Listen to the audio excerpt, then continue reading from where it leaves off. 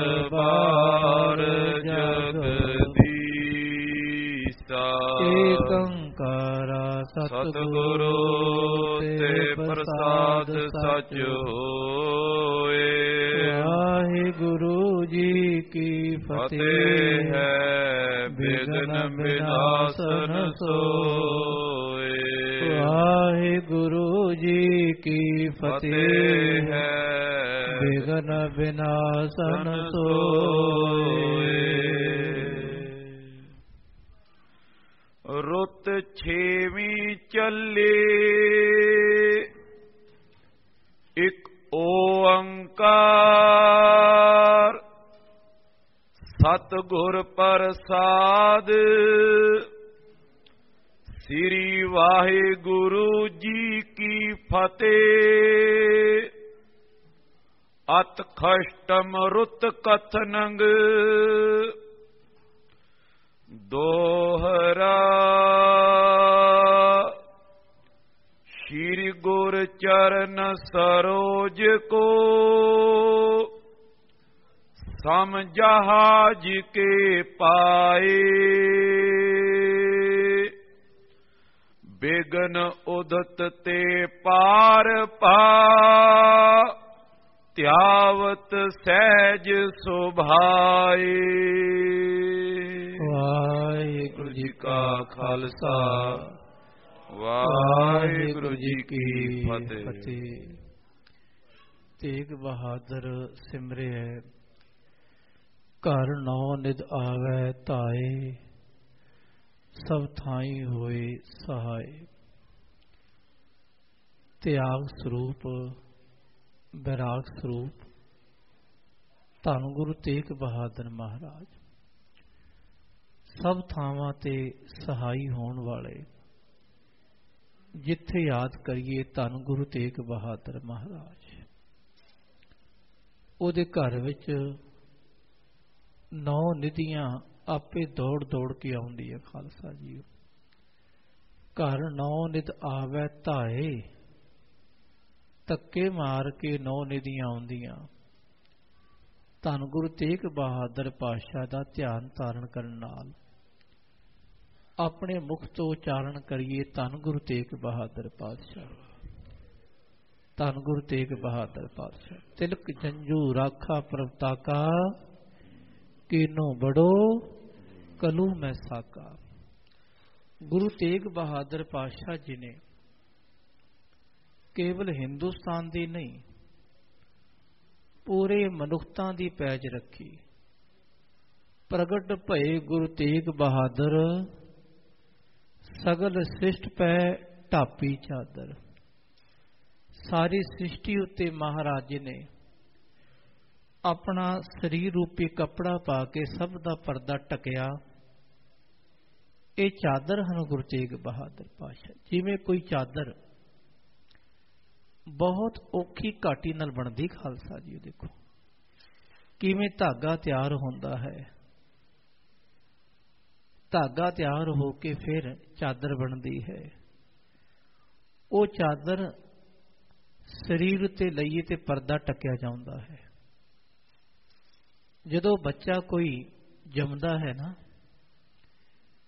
ਤੇ ਜੰਮਣ ਵੇਲੇ ਸਭ ਤੋਂ ਪਹਿਲਾਂ ਕੀ ਮੰਗਦੇ? ਕੋਈ ਕੱਪੜਾ ਲੈ ਕੇ ਆਓ, ਕੋਈ ਚਾਦਰ ਲੈ ਕੇ ਆਓ, ਬੱਚੇ ਨੂੰ ਲਪੇਟੀਏ।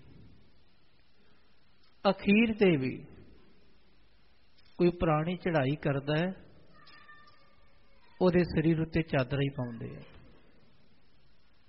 ਤੇ ਗੁਰੂ ਤੇਗ ਬਹਾਦਰ ਮਹਾਰਾਜ ਜਨਮ ਤੋਂ ਲੈ ਕੇ ਅਖੀਰ ਤੱਕ ਸਾਰੀ ਦੁਨੀਆ ਦਾ ਪਰਦਾ ਟਕਣ ਵਾਲੇ ਹਨ, ਪਾਤਸ਼ਾਹ। ਜਦੋਂ ਵੀ ਯਾਦ ਕਰੀਏ, ਧੰਨ ਗੁਰੂ ਤੇਗ ਬਹਾਦਰ ਪਾਤਸ਼ਾਹ, ਸਾਡੇ ਇਸ ਜਨਮ ਵਿੱਚ ਵੀ ਪਰਦੇ ਟਕਦੇ ਹਨ। ਤੇ ਅਖੀਰ ਵੇਲੇ ਜਦੋਂ ਜਾਵਾਂਗੇ ਇਥੋਂ, ਉਦੋਂ ਵੀ ਪਾਤਸ਼ਾਹ ਨੂੰ ਯਾਦ ਕਰਦੇ ਜਾਈਏ, ਉਦੋਂ ਵੀ ਮਹਾਰਾਜ ਅਗਾਹ ਵੀ ਪਰਦੇ ਟਕਣਗੇ ਖਾਲਸਾ ਜੀਓ ਐਸੇ ਗੁਰੂ ਤੇਗ ਬਹਾਦਰ ਮਹਾਰਾਜ ਜਿਨ੍ਹਾਂ ਨੇ ਤਿਲਕ ਜੰਜੂ ਰਾਖਾ ਪ੍ਰਵਤਾਕਾ, ਕੀਨੋ ਬੜੋ, ਕਲੂ ਮੈਂ ਸਾਕਾ, ਸਾਧਨ ਹੇਤ ਇਤੀ ਜਿਨ ਕਰੀ, ਸੀਸ ਦਿਆ ਪਰ ਸੀ ਨਾ ਉਚਰੀ। ਸੀਸ ਦੇ ਦਿੱਤਾ ਪਰ ਸੀ ਨੇ ਉਚਾਰਨ ਕੀਤੀ। ਧਰਮ ਹੇਤ ਸਾਕਾ ਜਿਨ ਕੀਆ, ਸੀਸ ਦਿਆ ਪਰ ਸਿਰ ਨਾ ਦਿਆ। ਆਪਣਾ ਪ੍ਰਣ ਨਹੀਂ ਛੱਡਿਆ ਮਹਾਰਾਜ ਜੀ ਨੇ।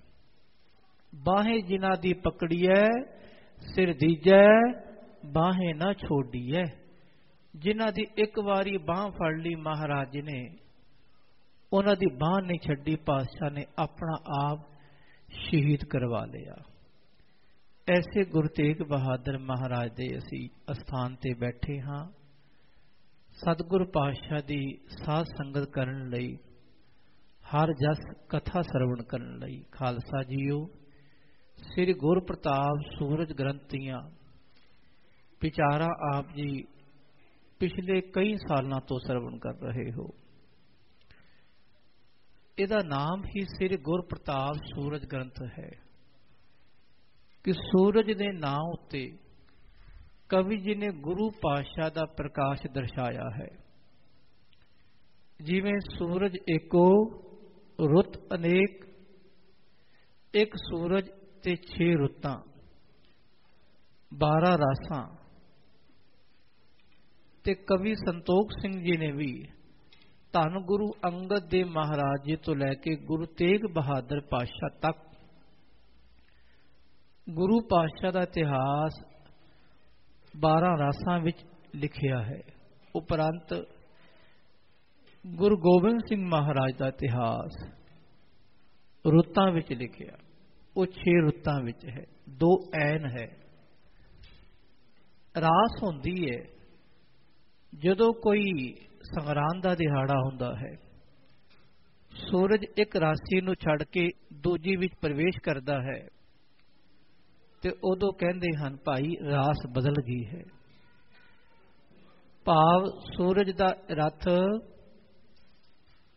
ਦੂਜੇ ਥਾਂ ਤੇ ਜਾ ਕੇ ਪ੍ਰਵੇਸ਼ ਕਰਦਾ ਹੈ। ਸੂਰਜ ਇੱਕ ਰਤ ਨੂੰ ਛੱਡ ਕੇ ਦੂਜੇ 'ਚ ਪ੍ਰਵੇਸ਼ ਕਰੇ, ਉਹਨੂੰ ਕਹਿੰਦੇ ਰੁੱਤ ਬਦਲ ਗਈ, ਰਾਸ ਬਦਲ ਗਈ। ਇਸੇ ਤਰ੍ਹਾਂ 6 ਰੁੱਤਾਂ ਕਿ ਜਦੋਂ ਮੌਸਮ ਵਿੱਚ ਤਬਦੀਲੀ ਆਉਂਦੀ ਹੈ, ਉਦੋਂ ਰੁੱਤਾਂ ਵਿੱਚ ਬਦਲਾਅ ਹੁੰਦਾ ਹੈ। ਤੇ ਗੁਰੂ ਪਾਤਸ਼ਾਹ ਦਾ ਇਤਿਹਾਸ, ਕਵੀ ਸੰਤੋਖ ਸਿੰਘ ਜੀ ਨੇ ਇਸ ਅਨੁਸਾਰ ਲਿਖਿਆ ਹੈ, ਪੰਜਵੀਂ ਰੁੱਤ ਸਮਾਪਤ ਹੋਈ, ਜਿਸ ਵਿੱਚ ਆਪ ਜੀ ਨੇ ਸ਼ਰਵਣ ਕੀਤਾ ਕਿ ਭਾਈ ਦਇਆ ਸਿੰਘ ਜੀ ਨੇ ਖਾਲਸੇ ਦੇ ਸ਼ੰਕੇ ਦੂਰ ਕੀਤੇ, ਆਤਮ ਗਿਆਨ ਬਖਸ਼ਿਸ਼ ਕੀਤਾ, ਗੁਰਮਤ ਦੀਆਂ ਸਿੱਖਿਆਵਾਂ ਦਿੱਤੀਆਂ ਉਪਰੰਤ ਕਵੀ ਹੰਸ ਰਾਮ ਜਿਨੇ ਗੁਰੂ ਗੋਬਿੰਦ ਸਿੰਘ ਮਹਾਰਾਜ ਦੀ ਵਡਿਆਈ ਕੀਤੀ, ਐਸੇ 52 ਕਵੀ ਪਾਤਸ਼ਾਹ ਕੋਲ ਆ ਕੇ ਗੁਰੂ ਮਹਾਰਾਜ ਦੀ ਵਡਿਆਈ ਕਰਦੇ ਹਨ ਤੇ ਬਹੁਤ ਖੁਸ਼ੀਆਂ ਪ੍ਰਾਪਤ ਕਰਦੇ। ਕਵੀਆਂ ਦੀ ਕਦਰ ਪਾਉਣ ਵਾਲੇ ਧੰਨ ਗੁਰੂ ਗੋਬਿੰਦ ਸਿੰਘ ਮਹਾਰਾਜ, ਜਿਨ੍ਹਾਂ ਨੇ ਹਰ ਇੱਕ ਕਵੀ ਦੀਆਂ ਮੁਸੀਬਤਾਂ ਨੂੰ ਸੁਣਿਆ, ਉਹਨਾਂ ਨੂੰ ਨਿਹਾਲ ਕੀਤਾ ਤੇ ਉਹਨਾਂ ਨੂੰ ਇਸ ਲੋਕ ਵਿੱਚ ਵੀ ਤੇ ਪਰਲੋਕ ਵਿੱਚ ਵੀ ਅਮੀਰ ਬਣਾ ਦਿੱਤਾ। ਐਸੇ ਧਨਵਾਨ ਬਣ ਗਏ ਕਿ ਇੱਥੇ ਵੀ ਖੁਸ਼ੀਆਂ ਮਿਲ ਗਈਆਂ ਤੇ ਅਗਾਹ ਵੀ ਆਨੰਦ ਮਿਲਿਆ ਉਹਨਾਂ ਕਵੀਆਂ ਨੂੰ। ਇਹ ਪੰਜਵੀਂ ਰੁੱਤ ਤੱਕ ਇਤਿਹਾਸ ਆਪ ਜੀ ਨੇ ਸਰਵਣ ਕੀਤਾ ਹੈ। ਆਓ, ਅੱਜ 6ਵੀਂ ਰੁੱਤ ਆਰੰਭ ਹੋ ਰਹੀ ਹੈ। ਕਵੀ ਸੰਤੋਖ ਸਿੰਘ ਜੀ ਕਿਵੇਂ ਅਕਾਲ ਪੁਰਖ ਪ੍ਰਮਾਤਮਾ ਦਾ ਧਿਆਨ ਧਾਰਨ ਕਰਕੇ 10 ਗੁਰੂ ਸਹਿਬਾਨ ਦੇ ਮੰਗਲ ਕਰਨਗੇ ਉਪਰੰਤ ਗੁਰੂ ਗੋਬਿੰਦ ਸਿੰਘ ਪਾਤਸ਼ਾਹ ਜੀ ਦਾ ਇਤਿਹਾਸ ਫਿਰ ਆਰੰਭ ਕਰ ਰਹੇ ਹਨ। ਆਓ ਇਸ ਕਥਾ ਨੂੰ ਸ਼ਰਵਣ ਕਰਨ ਲਈ ਸਾਰੇ ਗੁਰੂ ਕੇ ਪਿਆਰੇ ਆਪਣੀ ਸੁਰਤੀ ਬਿਰਤੀ ਕਾਗਰ ਕਰੀਏ ਅਤੇ ਸ਼ਰਧਾ ਸਤਕਾਰ ਨਾਲ ਉਚਾਰਨ ਕਰੋ ਜੀ ਸਤਨਾਮ। ਸ੍ਰੀ ਵਾਹਿਗੁਰੂ ਸਾਹਿਬ ਜੀ। ਸਤਨਾਮ। ਸ੍ਰੀ ਵਾਹਿਗੁਰੂ ਸਾਹਿਬ ਜੀ। ਰੁੱਤ ਛੇਵੀਂ ਚੱਲੇ। ਇੱਕ ਓੰਕਾਰ ਸਤਿਗੁਰ ਪ੍ਰਸਾਦ। ਛੇਵੀਂ ਰੁੱਤ ਦੀ ਆਰੰਭਤਾ ਹੋਈ ਹੈ। ਸਭ ਤੋਂ ਪਹਿਲਾਂ ਕਵੀ ਸੰਤੋਖ ਸਿੰਘ ਜੀ, ਅਕਾਲ ਪੁਰਖ ਪ੍ਰਮਾਤਮਾ ਜੋ ਇੱਕ ਹੈ, ਅਦੁੱਤੀ ਹੈ, ਜਿਹਦੇ ਵਰਗਾ ਹੋਰ ਕੋਈ ਵੀ ਨਹੀਂ। ਸਜਾਤੀ ਵਿਜਾਤੀ ਸਬਗਤ ਭੇਤੋ ਨਿਆਰਾ ਹੈ ਇੱਕ ਵਾਹਿਗੁਰੂ। ਓੰਕਾਰ ਸਰੂਪ ਜਿਹੜਾ ਸਾਰੀ ਥਾਵਾਂ ਤੇ ਵਿਆਪਕ ਹੈ। ਜਿੱਥੇ ਵੀ ਦੇਖੋ ਓੰਕਾਰ ਫੈਲਿਆ ਹੋਇਆ ਹੈ। ਪਰਮਾਤਮਾ ਸਰੂਪ ਓੰਕਾਰ ਹੈ। ਇੱਕ ਨਿਰਗੁਣ ਤੇ ਓੰਕਾਰ ਸਰਗੁਣ ਸਰੂਪ। ਐਸਾ ਇੱਕ ਵਾਹਿਗੁਰੂ ਸਤਗੁਰ ਪ੍ਰਸਾਦ ਸਤ ਚਿਤ ਆਨੰਦ ਸਰੂਪ ਹੈ ਖਾਲਸਾ ਜੀਓ। ਤੇ ਐਸੇ ਸਰੂਪ ਦੀ ਪ੍ਰਾਪਤੀ ਸੱਚੇ ਗੁਰੂ ਦੀ ਕਿਰਪਾ ਸਦਕਾ ਹੁੰਦੀ ਹੈ।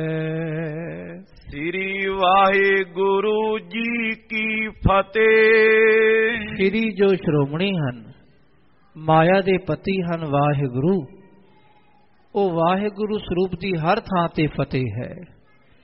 ਕਿਉਂਕਿ ਖਾਲਸਾ ਜੀਓ ਤਾਂ ਹੀ ਗੁਰੂ ਗੋਬਿੰਦ ਸਿੰਘ ਪਾਤਸ਼ਾਹ ਜੀ ਨੇ ਐਸਾ ਖਾਲਸਾ ਸਾਜਿਆ, ਜਿਹਦੀ ਜ਼ੁਬਾਨ ਤੇ ਫਤਿਹ, ਉਹਦੀ ਮੈਦਾਨ ਵਿੱਚ ਫਤਿਹ। ਵਾਹਿਗੁਰੂ ਜੀ ਕਾ ਖਾਲਸਾ, ਵਾਹਿਗੁਰੂ ਜੀ ਕੀ ਫਤਿਹ। ਇਹ ਫਤਿਹ ਪਾਤਸ਼ਾਹ ਨੇ ਆਪਣੇ ਖਾਲਸੇ ਨੂੰ ਬਖਸ਼ਿਸ਼ ਕੀਤੀ ਹੈ ਕਿ ਵਾਹਿਗੁਰੂ ਪ੍ਰਮਾਤਮਾ ਜੀ, ਤੁਹਾਡਾ ਹੀ ਖਾਲਸਾ ਹੈ ਤੇ ਤੁਹਾਡੇ ਕਰਕੇ ਫਤਿਹ ਪ੍ਰਾਪਤ ਹੋਣੀ ਹੈ।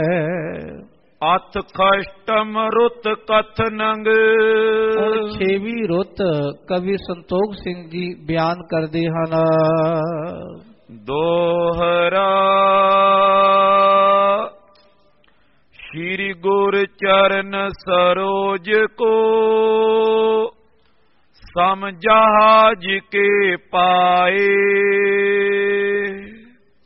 ਧੰਨ ਗੁਰੂ ਨਾਨਕ ਮਹਾਰਾਜ।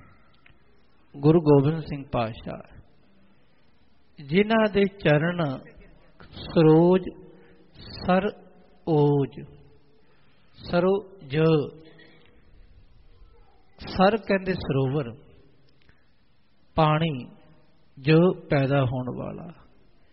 ਕਿ ਗੁਰੂ ਪਾਤਸ਼ਾਹ ਦੇ ਚਰਨ ਕਮਲ ਵਾਂਗ ਹਨ, ਜਿਹੜਾ ਕਮਲ ਚਿੱਕੜ ਵਿੱਚ, ਪਾਣੀ ਵਿੱਚ ਪੈਦਾ ਹੁੰਦਾ ਹੈ।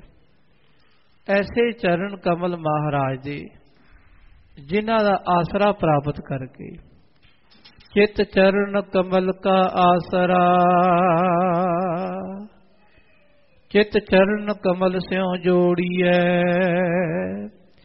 ਗੁਰੂ ਪਾਤਸ਼ਾਹ ਦਾ ਨਾਮ, ਵਾਹਿਗੁਰੂ ਨਾਮ, ਇਹ ਮਹਾਰਾਜ ਦੇ ਚਰਨ ਹਨ ਖਾਲਸਾ ਜੀਓ। ਤੇ ਇਹਨਾਂ ਦਾ ਆਸਰਾ ਪ੍ਰਾਪਤ ਕਰਕੇ ਬਿਗਨ ਉਦੋਤ ਤੇ ਪਾਰ ਪਾ, ਧਿਆਵਤ ਸਹਿਜ ਸੁਭਾਏ ਮਹਾਰਾਜ ਜੀ, ਤੁਹਾਡੇ ਚਰਨ ਜਹਾਜ਼ ਹਨ। ਤੇ ਮਹਾਰਾਜ, ਜਿਹੜੇ ਜਹਾਜ਼ ਵਿੱਚ ਤੁਸੀਂ ਆਪ ਟਿਕੇ ਹੋਏ ਹੋ, ਤੁਹਾਡਾ ਆਸਰਾ ਹੈ ਮਹਾਰਾਜ। ਤੁਹਾਡਾ ਪ੍ਰੇਮ ਰਸ ਹੈ ਪਾਤਸ਼ਾਹ ਜੀ। ਤੁਹਾਡਾ ਹੌਸਲਾ ਸਾਨੂੰ ਮਿਲਦਾ ਹੈ। ਪਾਤਸ਼ਾਹ ਇਸ ਸੰਸਾਰ ਰੂਪੀ ਸਮੁੰਦਰ ਵਿੱਚ ਬੜੀਆਂ ਲਹਿਰਾਂ ਆਉਂਦੀਆਂ ਮਹਾਰਾਜ। ਬਹੁਤ ਵਿਗੜ ਪੈਂਦੇ ਸਤਿਗੁਰੂ ਜੀ, ਪਰ ਤੁਹਾਡਾ ਨਾਮ ਜਪ ਕੇ, ਵਾਹਿਗੁਰੂ ਜਪ ਕੇ ਮਹਾਰਾਜ, ਸੰਸਾਰ ਸਾਗਰ ਤੋਂ ਪਾਰ ਹੋ ਜਾਈਦਾ ਹੈ। ਜਿਤਨੇ ਵਿਗਨ ਆਉਂਦੇ ਹਨ ਮਹਾਰਾਜ, ਜਦੋਂ ਵਾਹਿਗੁਰੂ ਜਪੀਏ, ਤੇ ਸਾਰੇ ਵਿਗਨ ਦੂਰ ਹੋ ਜਾਂਦੇ ਹਨ। ਤੁਸੀਂ ਕਿਰਪਾ ਕਰੋ ਪਾਤਸ਼ਾਹ ਜੀ ਆਪਣਾ ਨਾਮ ਰੂਪੀ ਜਹਾਜ਼ ਦੇ ਕੇ ਸੰਸਾਰ ਰੂਪੀ ਵਿਗਨਾਂ ਨੂੰ ਪਾਸ਼ਾ ਦੂਰ ਕਰਕੇ ਸਾਨੂੰ ਸਮੁੰਦਰ ਦੇ ਪਰਲੇ ਕੰਡੇ ਲਗਾ ਦਿਓ ਜੀ। ਇਸ਼ਟ ਗੁਰੂ ਦਸੋਂ ਗੁਰੂ ਸਾਹਿਬਾਨ ਦਾ ਮੰਗਲ। ਦਸ ਗੁਰੂ ਸਹਿਬਾਨ ਜੋ ਇਸ਼ਟ ਗੁਰੂ ਹਨ ਧੰਨ ਗੁਰੂ ਨਾਨਕ ਮਹਾਰਾਜ ਤੋਂ ਲੈ ਕੇ ਗੁਰੂ ਗੋਬਿੰਦ ਸਿੰਘ ਪਾਤਸ਼ਾਹ ਤੱਕ ਕਵੀ ਜੀ, ਇਹਨਾਂ ਦਾ ਮੰਗਲਾਚਰਨ ਕਰਦੇ ਖਾਲਸਾ ਜੀਓ। ਮੰਗਲਾਚਰਨ ਕਰਨ ਨਾਲ ਗ੍ਰੰਥ ਦੀ ਸਮਾਪਤੀ ਨਿਰਵਿਘਨ ਹੁੰਦੀ ਹੈ ਖਾਲਸਾ ਜੀਓ। ਮੰਗਲ ਵੀ ਤਿੰਨ ਤਰ੍ਹਾਂ ਦੇ ਹੁੰਦੇ ਹਨ। ਕਿ ਆਪਣੇ ਇਸ਼ਟ ਗੁਰੂ ਦਾ ਮੰਗਲ ਕਰਨਾ, ਪਸੂ ਨਿਰੇਸ਼ ਮੰਗਲ ਐਸਾ ਖਾਲਸਾ ਜੀ ਮੰਗਲ ਹੈ, ਇੱਕ ਓੰਕਾਰ ਸਤਿਗੁਰ ਪ੍ਰਸਾਦ। ਜਿਸ ਵਿੱਚ ਤਤ ਵਸਤੂ ਦਾ ਖਾਲਸਾ ਜੀ ਨਿਰਣਾ ਹੋ ਜਾਵੇ ਤੇ ਇੱਥੇ ਕਵੀ ਜੀ ਆਪਣੇ ਇਸ਼ਟ ਗੁਰੂ ਦਾ ਮੰਗਲ ਕਰਦੇ ਹਨ। ਸ਼੍ਰੀ ਨਾਨਕ ਅੰਗਦ ਗੁਰੂ ਤ੍ਰਿਤੀ ਚਤੁਰਥੋ ਰੂਪ। ਧੰਨ ਗੁਰੂ ਨਾਨਕ ਮਹਾਰਾਜ ਜੋਤ ਰੂਪ ਹਰ ਆਵ ਗੁਰੂ ਨਾਨਕ ਕਹਾਇਓ। ਧੰਨ ਗੁਰੂ ਅੰਗਦ ਦੇ ਮਹਾਰਾਜ ਤੀਜੇ ਸਰੂਪ ਭੱਲੇ ਅਮਰਦਾਸ ਗੁਣ ਤੇਰੇ ਤੇਰੀ ਉਪਮਾ ਤੋਹੇ ਬਣਾਵੇ ਧੰਨ ਗੁਰੂ ਅਮਰਦਾਸ ਮਹਾਰਾਜ। ਚਤੁਰਥ ਚੌਥੇ ਗੁਰੂ ਮਹਾਰਾਜ ਬੈਠਾ ਸੋਢੀ ਪਾਤਸ਼ਾਹ ਰਾਮਦਾਸ ਸਤਿਗੁਰੂ ਕਹਾਵੇ ਐਸੇ ਮਹਾਰਾਜ ਜੀ। ਪੰਚਮ ਖਸ਼ਟਮ ਸਪਤਮੋ ਅਸ਼ਟਮ ਨਵਮ ਅਨੂਪ। ਪੰਜਵੇਂ ਬਾਦਸ਼ਾਹ ਧੰਨ ਗੁਰੂ ਅਰਜਨ ਦੇਵ ਮਹਾਰਾਜ। ਧੰਨ ਗੁਰੂ ਹਰਗੋਬਿੰਦ ਸਾਹਿਬ ਮਹਾਰਾਜ, ਕਸ਼ਟਮ ਸਰੂਪ, ਮੇਰੀ ਪੀੜੀ ਦੇ ਮਾਲਕ। ਧੰਨ ਗੁਰੂ ਹਰਿ ਸਾਹਿਬ ਪਾਤਸ਼ਾਹ ਸਿਮਰੋ, ਸ੍ਰੀ ਹਰ ਰਾਏ ਸ੍ਰੀ ਹਰ ਕ੍ਰਿਸ਼ਨ ਧਿਆਈਐ, ਜਿਸ ਡਿਠੇ ਸਭ ਦੁਖ ਜਾਏ, ਐਸੇ ਅਸ਼ਟਮ ਸਰੂਪ ਬਾਲਾ ਪ੍ਰੀਤਮ ਜੀ, ਆਪ ਜੀ ਨੂੰ ਬੰਦਨਾ ਕਰਦੇ ਹਾਂ। ਨਵਵੇਂ ਅਨੂਪ। ਨੌਵੇਂ ਸਰੂਪ ਤੇਗ ਬਹਾਦਰ ਸਿਮਰਿਐ। ਘਰ ਨੌ ਨਿਦ ਆਵੈ ਤਾਏ ਸਭ ਥਾਈ ਹੋਏ ਸਹਾਏ। ਇਹ ਤਾਂ ਸਭ ਦੀ ਜ਼ੁਬਾਨ ਤੇ ਹੈ। ਪਾਤਸ਼ਾਹ ਮਹਾਰਾਜ ਸਭ ਦੇ ਹਿਰਦੇ ਵਿੱਚ ਵਸਨਾਨ। ਐਸੇ ਨਵਮ ਸਰੂਪ ਧੰਨ ਗੁਰੂ ਤੇਗ ਬਹਾਦਰ ਮਹਾਰਾਜ ਜੀ। ਗੁਰੂ ਗੋਬਿੰਦ ਸਿੰਘ ਦਸਮ ਪ੍ਰਭ ਜਗ ਤਾਰਨ ਅਵਤਾਰ। ਧੰਨ ਗੁਰੂ ਗੋਬਿੰਦ ਸਿੰਘ ਮਹਾਰਾਜ ਕਲਗੀਧਰ ਪਿਤਾ। ਦਸਵਾਂ ਜਾਮਾ ਧਾਰ ਕੇ ਆਏ ਸਾਰੀ ਦੁਨੀਆ ਦਾ ਬੇੜਾ ਪਾਰ ਕੀਤਾ ਐਸੇ 10 ਪਾਤਸ਼ਾਹੀਆਂ ਨੇ। ਕਥਾ ਆਪਨੀ ਆਪਈ ਰਚੀ ਸਹਿਤ ਬਿਸਤਾਰ। ਰੱਬ ਜੀ ਅਸੀਂ ਤਾਂ ਕੁਝ ਵੀ ਕਰਨ ਵਾਲੇ ਨਹੀਂ। ਤੁਸੀਂ ਆਪਣੀ ਕਥਾ ਮਹਾਰਾਜ ਆਪ ਹੀ ਲਿਖਵਾ ਰਹੇ ਹੋ। ਆਪ ਹੀ ਹਿਰਦੇ ਵਿੱਚੋਂ ਮਹਾਰਾਜ ਉਸ ਕਥਾ ਦੇ ਮਹਾਰਾਜ ਝਰਨੇ ਚਲਾ ਰਹੇ ਹੋ। ਮੇਰ ਭਰੀ ਛੜੀ ਸੀਸ ਤੇ ਰੱਖ ਕੇ ਸਤਿਗੁਰ ਪਾਤਸ਼ਾਹ ਜੀ ਆਪ ਹੀ ਕਵੀ ਸੰਤੋਖ ਸਿੰਘ ਜੀ ਤੋਂ ਕਥਾ ਲਿਖਵਾ ਰਹੇ ਹੋ। ਕਰਿਓ ਬਹਾਨੋ ਮੋਹੇ ਕੋ ਦਾਸ ਜਾਨ ਕਰ ਦੀਨ। ਕਵੀ ਜੀ ਆਪਣੀ ਨਿਮਰਤਾ ਵੀ ਬਿਆਨ ਕਰਦੇ। ਤੇ ਗੁਰੂ ਪਾਤਸ਼ਾਹ ਦੀ ਬਖਸ਼ਿਸ਼ ਵੀ ਫਰਮਾਉਂਦੇ ਹਨ। ਰੱਬ ਜੀ, ਤੁਸੀਂ ਬਖਸ਼ਿਸ਼ ਕੀਤੀ। ਬਹਾਨਾ ਬਣਾਇਆ ਕਵੀ ਸੰਤੋਖ ਸਿੰਘ ਜੀ ਦਾ। ਪਰ ਮਹਾਰਾਜ, ਆਪ ਹੀ ਕਥਾ ਮਹਾਰਾਜ ਜੀ ਲਿਖਾਣ ਵਾਲੇ ਹੋ। ਆਪ ਹੀ ਸੁਣਨ ਵਾਲੇ ਹੋ, ਆਪ ਹੀ ਸੁਣਾਉਣ ਵਾਲੇ ਹੋ ਪਾਤਸ਼ਾਹ। ਤੁਹਾਡੀ ਬਖਸ਼ਿਸ਼ ਨਾਲ ਮਹਾਰਾਜ ਜੀ ਕਥਾ ਲਿਖੀ ਜਾ ਰਹੀ ਹੈ। ਕਹਾ ਸ਼ਕਤ ਨਰ ਤਨ ਵਿਖੇ ਸੰਚਨ ਕਰੇ ਪ੍ਰਬੀਨ ਮਹਾਰਾਜ ਜੀ ਮਨੁੱਖਾ ਸਰੀਰ ਵਿੱਚ ਕੋਈ ਸ਼ਕਤੀ ਨਹੀਂ। ਕਿ ਤੁਹਾਡੇ ਗੁਣ ਕਹਿ ਸਕੀਏ ਮਹਾਰਾਜ ਨਹੀਂ ਕਹੇ ਜਾਂਦੇ। ਪਰ ਫਿਰ ਵੀ ਜਿਵੇਂ ਤੁਸੀਂ ਬਖਸ਼ਿਸ਼ ਕੀਤੀ ਹੈ ਮਹਾਰਾਜ ਤੁਹਾਡਾ ਜਸ ਮਹਾਰਾਜ ਇਕੱਠਾ ਕਰਕੇ ਜਿੱਥੋਂ ਜਿੱਥੋਂ ਮਿਲਿਆ ਜਿਵੇਂ ਜਿਵੇਂ ਆਪ ਜੀ ਨੇ ਬਖਸ਼ਿਸ਼ ਕੀਤੀ ਜਿਹੜੇ ਜਿਹੜੇ ਪ੍ਰਸੰਗ ਆਪ ਜੀ ਨੇ ਦਰਸ਼ਨ ਕਰਵਾ ਕੇ ਮਹਾਰਾਜ ਲਿਖਵਾਏ ਹਨ ਕਵੀ ਜੀ ਨੇ ਉਹੀ ਲਿਖੇ ਹਨ ਸਭ ਇੱਛਾ ਪੂਰਨ ਕਰੀ ਹਲਤ ਵਿਖੇ ਸੁਖ ਦੀਨ ਐ ਰੱਬ ਜੀ ਤੁਸੀਂ ਸਾਰੀ ਇੱਛਾ ਪੂਰੀ ਕਰਤੀ ਮਹਾਰਾਜ ਇਸ ਲੋਕ ਵਿੱਚ ਮਹਾਰਾਜ ਜੀ ਆਪ ਜੀ ਨੇ ਬੜੇ ਸੁਖ ਬਖਸ਼ਿਸ਼ ਕੀਤੇ ਹਨ। ਹਿਰਦੈ ਭਰੋਸਾ ਪਲਤ ਮੈਂ ਕਰੇ ਕਸ਼ਟ ਸਭ ਛੀਨ। ਮਨ ਵਿੱਚ ਇਹ ਵੀ ਭਰੋਸਾ ਹੈ ਮਹਾਰਾਜ ਜੀ ਅਗਾਂ ਪਰਲੋਕ ਵਿੱਚ ਵੀ ਮਹਾਰਾਜ ਤੁਸੀਂ ਸਾਰੇ ਕਸ਼ਟ ਦੂਰ ਕਰੋਗੇ। ਜਿੱਥੇ ਯਾਦ ਕਰੀਏ ਧੰਨ ਗੁਰੂ ਨਾਨਕ ਮਹਾਰਾਜ ਧੰਨ ਗੁਰੂ ਗੋਬਿੰਦ ਸਿੰਘ ਪਾਤਸ਼ਾਹ ਕਲਗੀਧਰ ਪਿਤਾ 10 ਪਾਤਸ਼ਾਹੀਆਂ ਸਰੂਪ ਤੁਸੀਂ ਕੋਈ ਰੂਪ ਹੋ ਪਾਤਸ਼ਾਹ। ਜਿੱਥੇ ਯਾਦ ਕਰਾਂਗੇ ਤੁਸੀਂ ਉੱਥੇ ਸਹਾਈ ਹੋਵੋਗੇ। ਇਮ ਉਪਦੇਸ਼ਤ ਸਤਿਗੁਰੂ ਜਿਮ ਸਿੰਘਨ ਕਲਿਆਣ। ਇਸ ਤਰ੍ਹਾਂ ਮਹਾਕਵੀ ਸੰਤੋਖ ਸਿੰਘ ਜੀ ਹੁਣ ਧੰਨ ਗੁਰੂ ਗੋਬਿੰਦ ਸਿੰਘ ਮਹਾਰਾਜ ਦੇ ਉਹੀ ਪ੍ਰਸੰਗ ਅੱਗੇ ਦੁਹਰਾਉਂਦੇ ਹਨ ਖਾਲਸਾ ਜੀਓ। ਜਿਵੇਂ ਭਾਈ ਦਇਆ ਸਿੰਘ ਜੀ ਗੁਰਸਿੱਖਾਂ ਨੂੰ ਖਾਲਸੇ ਪੰਥ ਗੁਰੂ ਕੇ ਪਿਆਰ ਦੇ ਸ਼ੰਕੇ ਦੂਰ ਕਰ ਰਹੇ ਸਨ ਤੇ ਗੁਰੂ ਗੋਬਿੰਦ ਸਿੰਘ ਮਹਾਰਾਜ ਕੋਲ ਵੀ ਗੁਰੂ ਕੇ ਪਿਆਰੇ ਆਉਂਦੇ ਹਨ, ਆਪਣੇ ਸ਼ੰਕੇ ਦੂਰ ਕਰਦੇ ਹਨ ਤੇ ਗੁਰੂ ਕਲਗੀਧਰ ਪਾਤਸ਼ਾਹ ਆਪਣੇ ਸਿੱਖਾਂ ਦੇ ਸ਼ੰਕੇ ਦੂਰ ਕਰਕੇ ਸਭ ਨੂੰ ਨਿਹਾਲ ਨਿਹਾਲ ਕਰੀ ਜਾ ਰਹੇ ਹਨ। ਉਮਗੇ ਔਰ ਅਨੁਰਾਗ ਜਿਨ ਦਏ ਅਗਰ ਗੁਰ ਪ੍ਰਾਨ। ਤੇ ਜਿਨ੍ਹਾਂ ਦੇ ਹਿਰਦੇ ਵਿੱਚ ਅਨੁਰਾਗ ਪੈਦਾ ਹੋ ਗਿਆ ਪ੍ਰੇਮ ਪੈਦਾ ਹੋ ਗਿਆ ਉਹਨਾਂ ਗੁਰੂ ਕੇ ਪਿਆਰਿਆਂ ਨੇ ਗੁਰੂ ਵਾਸਤੇ ਖਾਲਸੇ ਪੰਥ ਲਈ ਆਪਣੇ ਪ੍ਰਾਣ ਨਿਸ਼ਾਵਰ ਕਰਤੇ ਉਹਨਾਂ ਨੇ ਸ਼ਹੀਦੀ ਦਾ ਜਾਮ ਪ੍ਰਾਪਤ ਕਰ ਲਿਆ। ਪਟੇ ਦੂਤ ਗਿਰ ਪਤਨ ਜੇ ਸਾਚ ਕੇ ਝੂਠ ਸੁਨਾਏ ਤੇ ਖਾਲਸਾ ਜਿਹੜੇ ਪਹਾੜੀ ਰਾਜੇ ਹਨ ਇਹਨਾਂ ਪਹਾੜੀ ਰਾਜਿਆਂ ਤੋਂ ਕੁਝ ਨਹੀਂ ਸਰਿਆ ਤੇ ਇਹਨਾਂ ਨੇ ਆਪਣੇ ਦੂਤ ਔਰੰਗਜ਼ੇਬ ਵੱਲ ਭੇਜੇ ਹਨ। ਪਹਿਲਾਂ ਦਿੱਲੀ ਵੱਲ ਭੇਜੇ, ਫਿਰ ਦਿੱਲੀ ਤੋਂ ਅੱਗੇ ਭੇਜੇ ਤੇ ਉੱਥੇ ਔਰੰਗਜ਼ੇਬ ਨੂੰ ਸੱਚ ਝੂਠ ਸੁਣਾ ਕੇ ਗੁਰੂ ਘਰ ਦੇ ਵਿਰੁੱਧ ਭੜਕਾ ਕੇ ਸਵਾ ਲੱਖ ਸੈਨਾ ਸਹਿਤ ਤੈ ਉਮਰਾਵ ਚੜਾਏ। ਔਰੰਗਜ਼ੇਬ ਤੋਂ ਇੱਕ ਪਟਾ ਲਿਖਵਾ ਲਿਆ ਇੱਕ ਹੁਕਮਨਾਮਾ ਪਰਵਾਨਾ ਲਿਖਾ ਲਿਆ ਕਿ ਇਹ ਰੰਗਜੇ ਬਾਦਸ਼ਾਹ ਜੀ ਤੁਸੀਂ ਸਾਡੀ ਸਹਾਇਤਾ ਕਰੋ ਸਾਡਾ ਰਾਜ ਖੁੱਸ ਰਿਹਾ ਹੈ। ਤੇ ਰੰਗਜੇਬ ਤੋਂ ਇੱਕ ਪਰਵਾਨਾ ਲਿਖਾਇਆ ਇੱਕ ਮਹਾਨ ਯੋਧਾ ਖਾਲਸਾ ਸਵਾ ਲੱਖ ਫੌਜ ਲੈ ਕੇ ਦਿੱਲੀ ਤੋਂ ਚੜਿਆ ਹੈ। ਚੋਪਈ ਸੈਂਦੇ ਖਾਨ ਪਠਾਨ ਚੜ ਆਇਓ ਤੇ ਸੈਦੇ ਖਾਂ ਇਹ ਪਠਾਨ ਸਵਾ ਲੱਖ ਫੌਜ ਲੈ ਕੇ ਆਣ ਲੱਗਾ।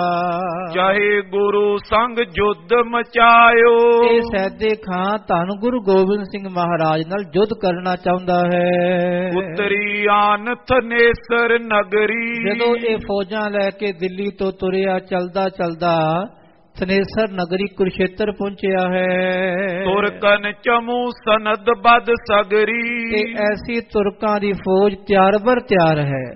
ਸਵਾ ਲੱਖ ਫੌਜ ਤਿਆਰ ਬਰ ਤਿਆਰ ਨਗਾਰੇ ਵਜਾਉਂਦੇ ਹੋਏ ਉੱਥੇ ਟਿਕੀ ਹੋਈ ਹੈ। ਇਤ ਗੁਰ ਕਰਤੇ ਹਟੇ ਮਸੰਦ। ਤੇ ਇਧਰ ਗੁਰੂ ਘਰ ਤੋਂ ਜਿਹੜੇ ਮਸੰਦ ਹਟ ਗਏ ਸਨ ਭਾਵ ਇਸ ਗੁਰੂ ਪਾਤਸ਼ਾਹ ਨੇ ਹੁਕਮ ਕੀਤਾ ਵੀ ਕਿਸੇ ਮਸੰਦ ਨੂੰ ਤੁਸੀਂ ਭੇਟਾ ਨਹੀਂ ਦੇਣੀ। ਸਾਧ ਸੰਗਤ ਜੀ ਅੱਜ ਖਾਲਸੇ ਪੰਥ ਵਿੱਚ ਗੁਰੂ ਮਹਾਰਾਜ ਤੇ ਖਾਲਸਾ ਪੰਥ ਇੱਕਮਿਕ ਹਨ। ਕਿਸੇ ਮਸੰਦ ਨੂੰ ਮੂੰਹ ਨਹੀਂ ਲਾਣਾ। ਬੈਠੇ ਤਨ ਸੰਗਤ ਤੇ ਬੰਦ। ਤੇ ਮਸੰਦ ਆਪਣੇ ਘਰਾਂ ਵਿੱਚ ਹੀ ਬੈਠ ਗਏ ਸੰਗਤਾਂ ਤੋਂ ਧਨ ਆਣਾ ਬੰਦ ਹੋ ਗਿਆ। ਸ੍ਰੀ ਗੁਰ ਕਯੋ ਮਸੰਦ ਨ ਮੇਰੇ। ਤੇ ਧੰਨ ਗੁਰੂ ਗੋਬਿੰਦ ਸਿੰਘ ਪਾਤਸ਼ਾਹ ਨੇ ਬਚਨ ਕੀਤਾ ਸਾਧ ਸੰਗਤ ਜੀ। ਇਹ ਮਸੰਦ ਮੇਰੇ ਨਹੀਂ ਹਨ। ਸਿੱਖਨ ਪਰ ਇਹ ਰਾਖਸ ਹੇਰੇ। ਇਹ ਤਾਂ ਗੁਰਸਿੱਖਾਂ ਉਤੇ ਰਾਖਸ਼ ਨਿਆਈ ਹਨ। ਦੈਂਤਾਂ ਦੇ ਨਿਆਈ ਹਨ ਐਵੇਂ ਅਤਿਆਚਾਰ ਕਰਨ ਵਾਲੇ ਹਨ। ਕਿਤਕ ਮਸੰਦ ਬੰਦ ਕਰ ਕਇਓ ਤੇ ਕਈ ਮਸੰਦਾਂ ਨੇ ਗੁਰੂ ਗੋਬਿੰਦ ਸਿੰਘ ਮਹਾਰਾਜ ਦੇ ਕੋਲ ਹੱਥ ਜੋੜ ਕੇ ਬੇਨਤੀ ਕੀਤੀ ਹੈ। ਕਰੀ ਏਕ ਨੇ ਦੁੱਖ ਸਭ ਲਇਓ। ਐ ਮਹਾਰਾਜ ਜੀ ਗਲਤੀ ਇੱਕ ਨੇ ਕੀਤੀ। ਤੇ ਅਸੀਂ ਸਾਰੇ ਹੀ ਦੁੱਖ ਪ੍ਰਾਪਤ ਕਰ ਰਹੇ ਹਾਂ। ਖਤਾ ਪ੍ਰਥਮ ਕੀ ਬਖਸ਼ਨ ਕਰੀਏ? ਸਤਿਗੁਰ ਜੀ ਬਖਸ਼ਿਸ਼ ਕਰੋ। ਸਾਡੀ ਖਤਾ ਮਹਾਰਾਜ ਇਹ ਬਖਸ਼ ਦਵੋ ਮਹਾਰਾਜ। ਜਿਹੜੇ ਇੱਕ ਨੇ ਗੁਨਾਹ ਕੀਤੇ ਮਹਾਰਾਜ ਉਹ ਤਾਂ ਤਾੜਿਆ ਗਿਆ ਹੈ। ਸਾਨੂੰ ਤਾਂ ਮਹਾਰਾਜ ਜੀ ਬਖਸ਼ ਦਵੋ। ਆਪਣੇ ਜਾਨ ਦਇਆ ਔਰ ਧਰੀਏ। ਤੇ ਆਪਣਾ ਜਾਣ ਕੇ ਮਹਾਰਾਜ ਤੁਹਾਡੇ ਗੁਰੂ ਕੇ ਪਿਆਰੇ ਆ। ਗੁਰੂ ਘਰ ਦਾ ਪ੍ਰਚਾਰ ਪ੍ਰਸਾਰ ਕਰਨ ਵਾਲੇ ਹਾਂ ਪਾਤਸ਼ਾਹ ਜੀ। ਆਪਣਾ ਜਾਣ ਕੇ ਦਇਆ ਕਰੋ ਜੀ। ਅਬ ਤੇ ਜੋ ਸਿੱਖ ਕੇ ਘਰ ਜਾਏ। ਤੇ ਮਹਾਰਾਜ ਜੀ ਅੱਜ ਤੋਂ ਬਾਅਦ ਜਿਹੜੇ ਸਿੱਖਾਂ ਦੇ ਘਰ ਜਾਵਾਂਗੇ। ਖੁਸ਼ੀ ਹੋਏ ਦੇ ਸੋ ਹਮ ਤੇ ਲਿਆਏ ਜਿਹੜਾ ਸਿੱਖ ਆਪਣੀ ਖੁਸ਼ੀ ਨਾਲ ਦਵੇਗਾ ਮਹਾਰਾਜ ਜੀ ਉਹ ਕਾਰ ਭੇਟਾ ਉਹ ਸੇਵਾ ਲੈ ਕੇ ਆਵਾਂਗੇ। ਸਗਰੇ ਮਾਰੇ ਏਕ ਤੇ ਪਿਛਾਰੀ ਮਹਾਰਾਜ ਜੀ ਤੁਸੀਂ ਤੇ ਸਾਨੂੰ ਸਭ ਨੂੰ ਮਾਰ ਛੱਡਿਆ ਹੈ। ਗਲਤੀ ਇੱਕ ਦੀ ਹੋਈ ਮਹਾਰਾਜ ਇੱਕ ਦੇ ਮਗਰ ਲੱਗ ਕੇ ਸਾਰੇ ਮਾਰੇ ਗਏ ਹਾਂ। ਅਬ ਬਰਤੇ ਗੁਰ ਬਾਚੀ ਅਨੁਸਾਰੀ। ਤੇ ਮਹਾਰਾਜ ਅੱਜ ਤੋਂ ਬਾਅਦ ਅਸੀਂ ਆਪਣੀ ਮਨ ਦੀ ਮਰਜ਼ੀ ਨਹੀਂ ਕਰਾਂਗੇ। ਜਿਵੇਂ ਤੁਸੀਂ ਕਹੋਗੇ ਮਹਾਰਾਜ ਉਵੇਂ ਕਰਾਂਗੇ। ਸੁਨ ਸ਼੍ਰੀ ਮੁਖ ਤੇ ਤਬੇ ਉਚਾਰਾ। ਧੰਨ ਗੁਰੂ ਗੋਬਿੰਦ ਸਿੰਘ ਮਹਾਰਾਜ ਜੀ ਨੇ ਆਪਣੇ ਮੁਖ ਤੋਂ ਬਚਨ ਉਚਾਰਨ ਕੀਤਾ। ਸਿੱਖ ਸਿਦਕ ਕੋ ਹੋਏ ਨਿਰਧਾਰਾ। ਸਤਿਗੁਰ ਪਾਤਸ਼ਾਹ ਕਹਿਣ ਲੱਗੇ ਕਿਉਂ ਕਾਲੇ ਪੈਂਦੇ ਹੋ? ਕਿਉਂ ਐਵੇਂ ਹਾਉ ਹਾਉ ਕਰ ਰਹੇ ਹੋ? ਐਵੇਂ ਭਾਈ ਗੁਰੂ ਦਾ ਸਿੱਖ ਸਿਦਕ ਦਾ ਧਾਰਨੀ ਹੋਵੇ। ਜੋ ਮਿਲ ਜਾਵੇ ਉਸ ਤੇ ਭਰੋਸਾ ਕਰੇ ਰੱਬ ਦਾ ਸਿਮਰਨ ਕਰੇ ਐਸਾ ਸਿੱਧਕੀ ਸਿੱਖ ਹੋਵੇ। ਕਾਲ ਕਲੂ ਕੋ ਸੁਨੀਏ ਪਾਈ। ਇਹ ਕਲਯੁਗ ਦਾ ਸਮਾਂ ਬੜਾ ਭਿਆਨਕ ਹੈ। ਦੁਸ਼ਤਰ ਜੇ ਸਿੱਖੀ ਨਿਭਾਈ। ਇੱਥੇ ਸੁਣੋ ਖਾਲਸਾ ਜੀਓ ਸਿੱਖੀ ਦਾ ਨਿਰਵਾਹ ਕਰਨਾ ਬੜਾ ਔਖਾ ਹੈ। ਬਹੁਤ ਕਠਨ ਹੈ ਕੜਾਕੇ ਫੜਾਕੇ ਸਹਿਨ ਕਰਨੇ ਪੈਂਦੇ ਹਨ। ਸਿਦਕ ਵਿੱਚ ਰਹਿਣਾ ਪੈਂਦਾ ਹੈ ਨਿਮਰਤਾ ਭਾਵ ਵਿੱਚ ਰਹਿਣਾ ਪੈਂਦਾ ਹੈ ਇਹ ਗੁਰੂ ਕੀ ਸਿੱਖੀ ਹੈ? ਕੁਛ ਘਾਟਾ ਤਨ ਕੇ ਗੁਰ ਕਰਨੈ ਗੁਰੂ ਘਰ ਧਨ ਦਾ ਘਾਟਾ ਹੁੰਦਾ ਹੀ ਨਹੀਂ ਕਦੀ। ਇੱਥੇ ਤਾਂ ਗੁਰੂ ਕੀਆਂ ਸੰਗਤਾਂ ਆਪਣੇ ਆਪ ਹੀ ਲਿਆਈ ਜਾਂਦੀਆਂ ਹਨ। ਇਸ ਕਰਕੇ ਗੁਰਸਿੱਖੋ ਫਿਕਰ ਨਾ ਕਰੋ। ਇਹ ਮਤ ਮਨ ਵਿੱਚ ਵਿਚਾਰ ਕਰੋ ਵੀ ਗੁਰੂ ਘਰ ਘਾਟਾ ਪੈ ਗਿਆ ਸੰਗਤਾਂ ਬਹੁਤ ਜ਼ਿਆਦਾ ਆ ਗਈਆਂ ਨਾ ਇੱਥੇ ਜਿਹੜੇ ਜਿਹੜੇ ਗੁਰੂ ਕੇ ਪਿਆਰੇ ਆ ਰਹੇ ਹਨ ਉਹ ਆਪਣੀ ਕਾਰ ਭੇਟਾ ਆਪਣੀ ਸੇਵਾ ਨਾਲ ਲੈ ਕੇ ਆ ਰਹੇ ਹਨ। ਬਿਨ ਬੋਲੇ ਨੈ ਗਮਨੋ ਸਿੱਖ ਗ੍ਰਹਿ। ਤੇ ਐ ਮਸੰਦੋ ਭਾਈ ਬਿਨਾ ਤੁਸੀਂ ਬੋਲਿਆਂ ਗੁਰਸਿੱਖਾਂ ਦੇ ਘਰ ਨਹੀਂ ਜਾਣਾ। ਜੇ ਤੁਹਾਨੂੰ ਕੋਈ ਬੁਲਾਵੇਗਾ ਤਾਂ ਜਾਣਾ ਹੈ।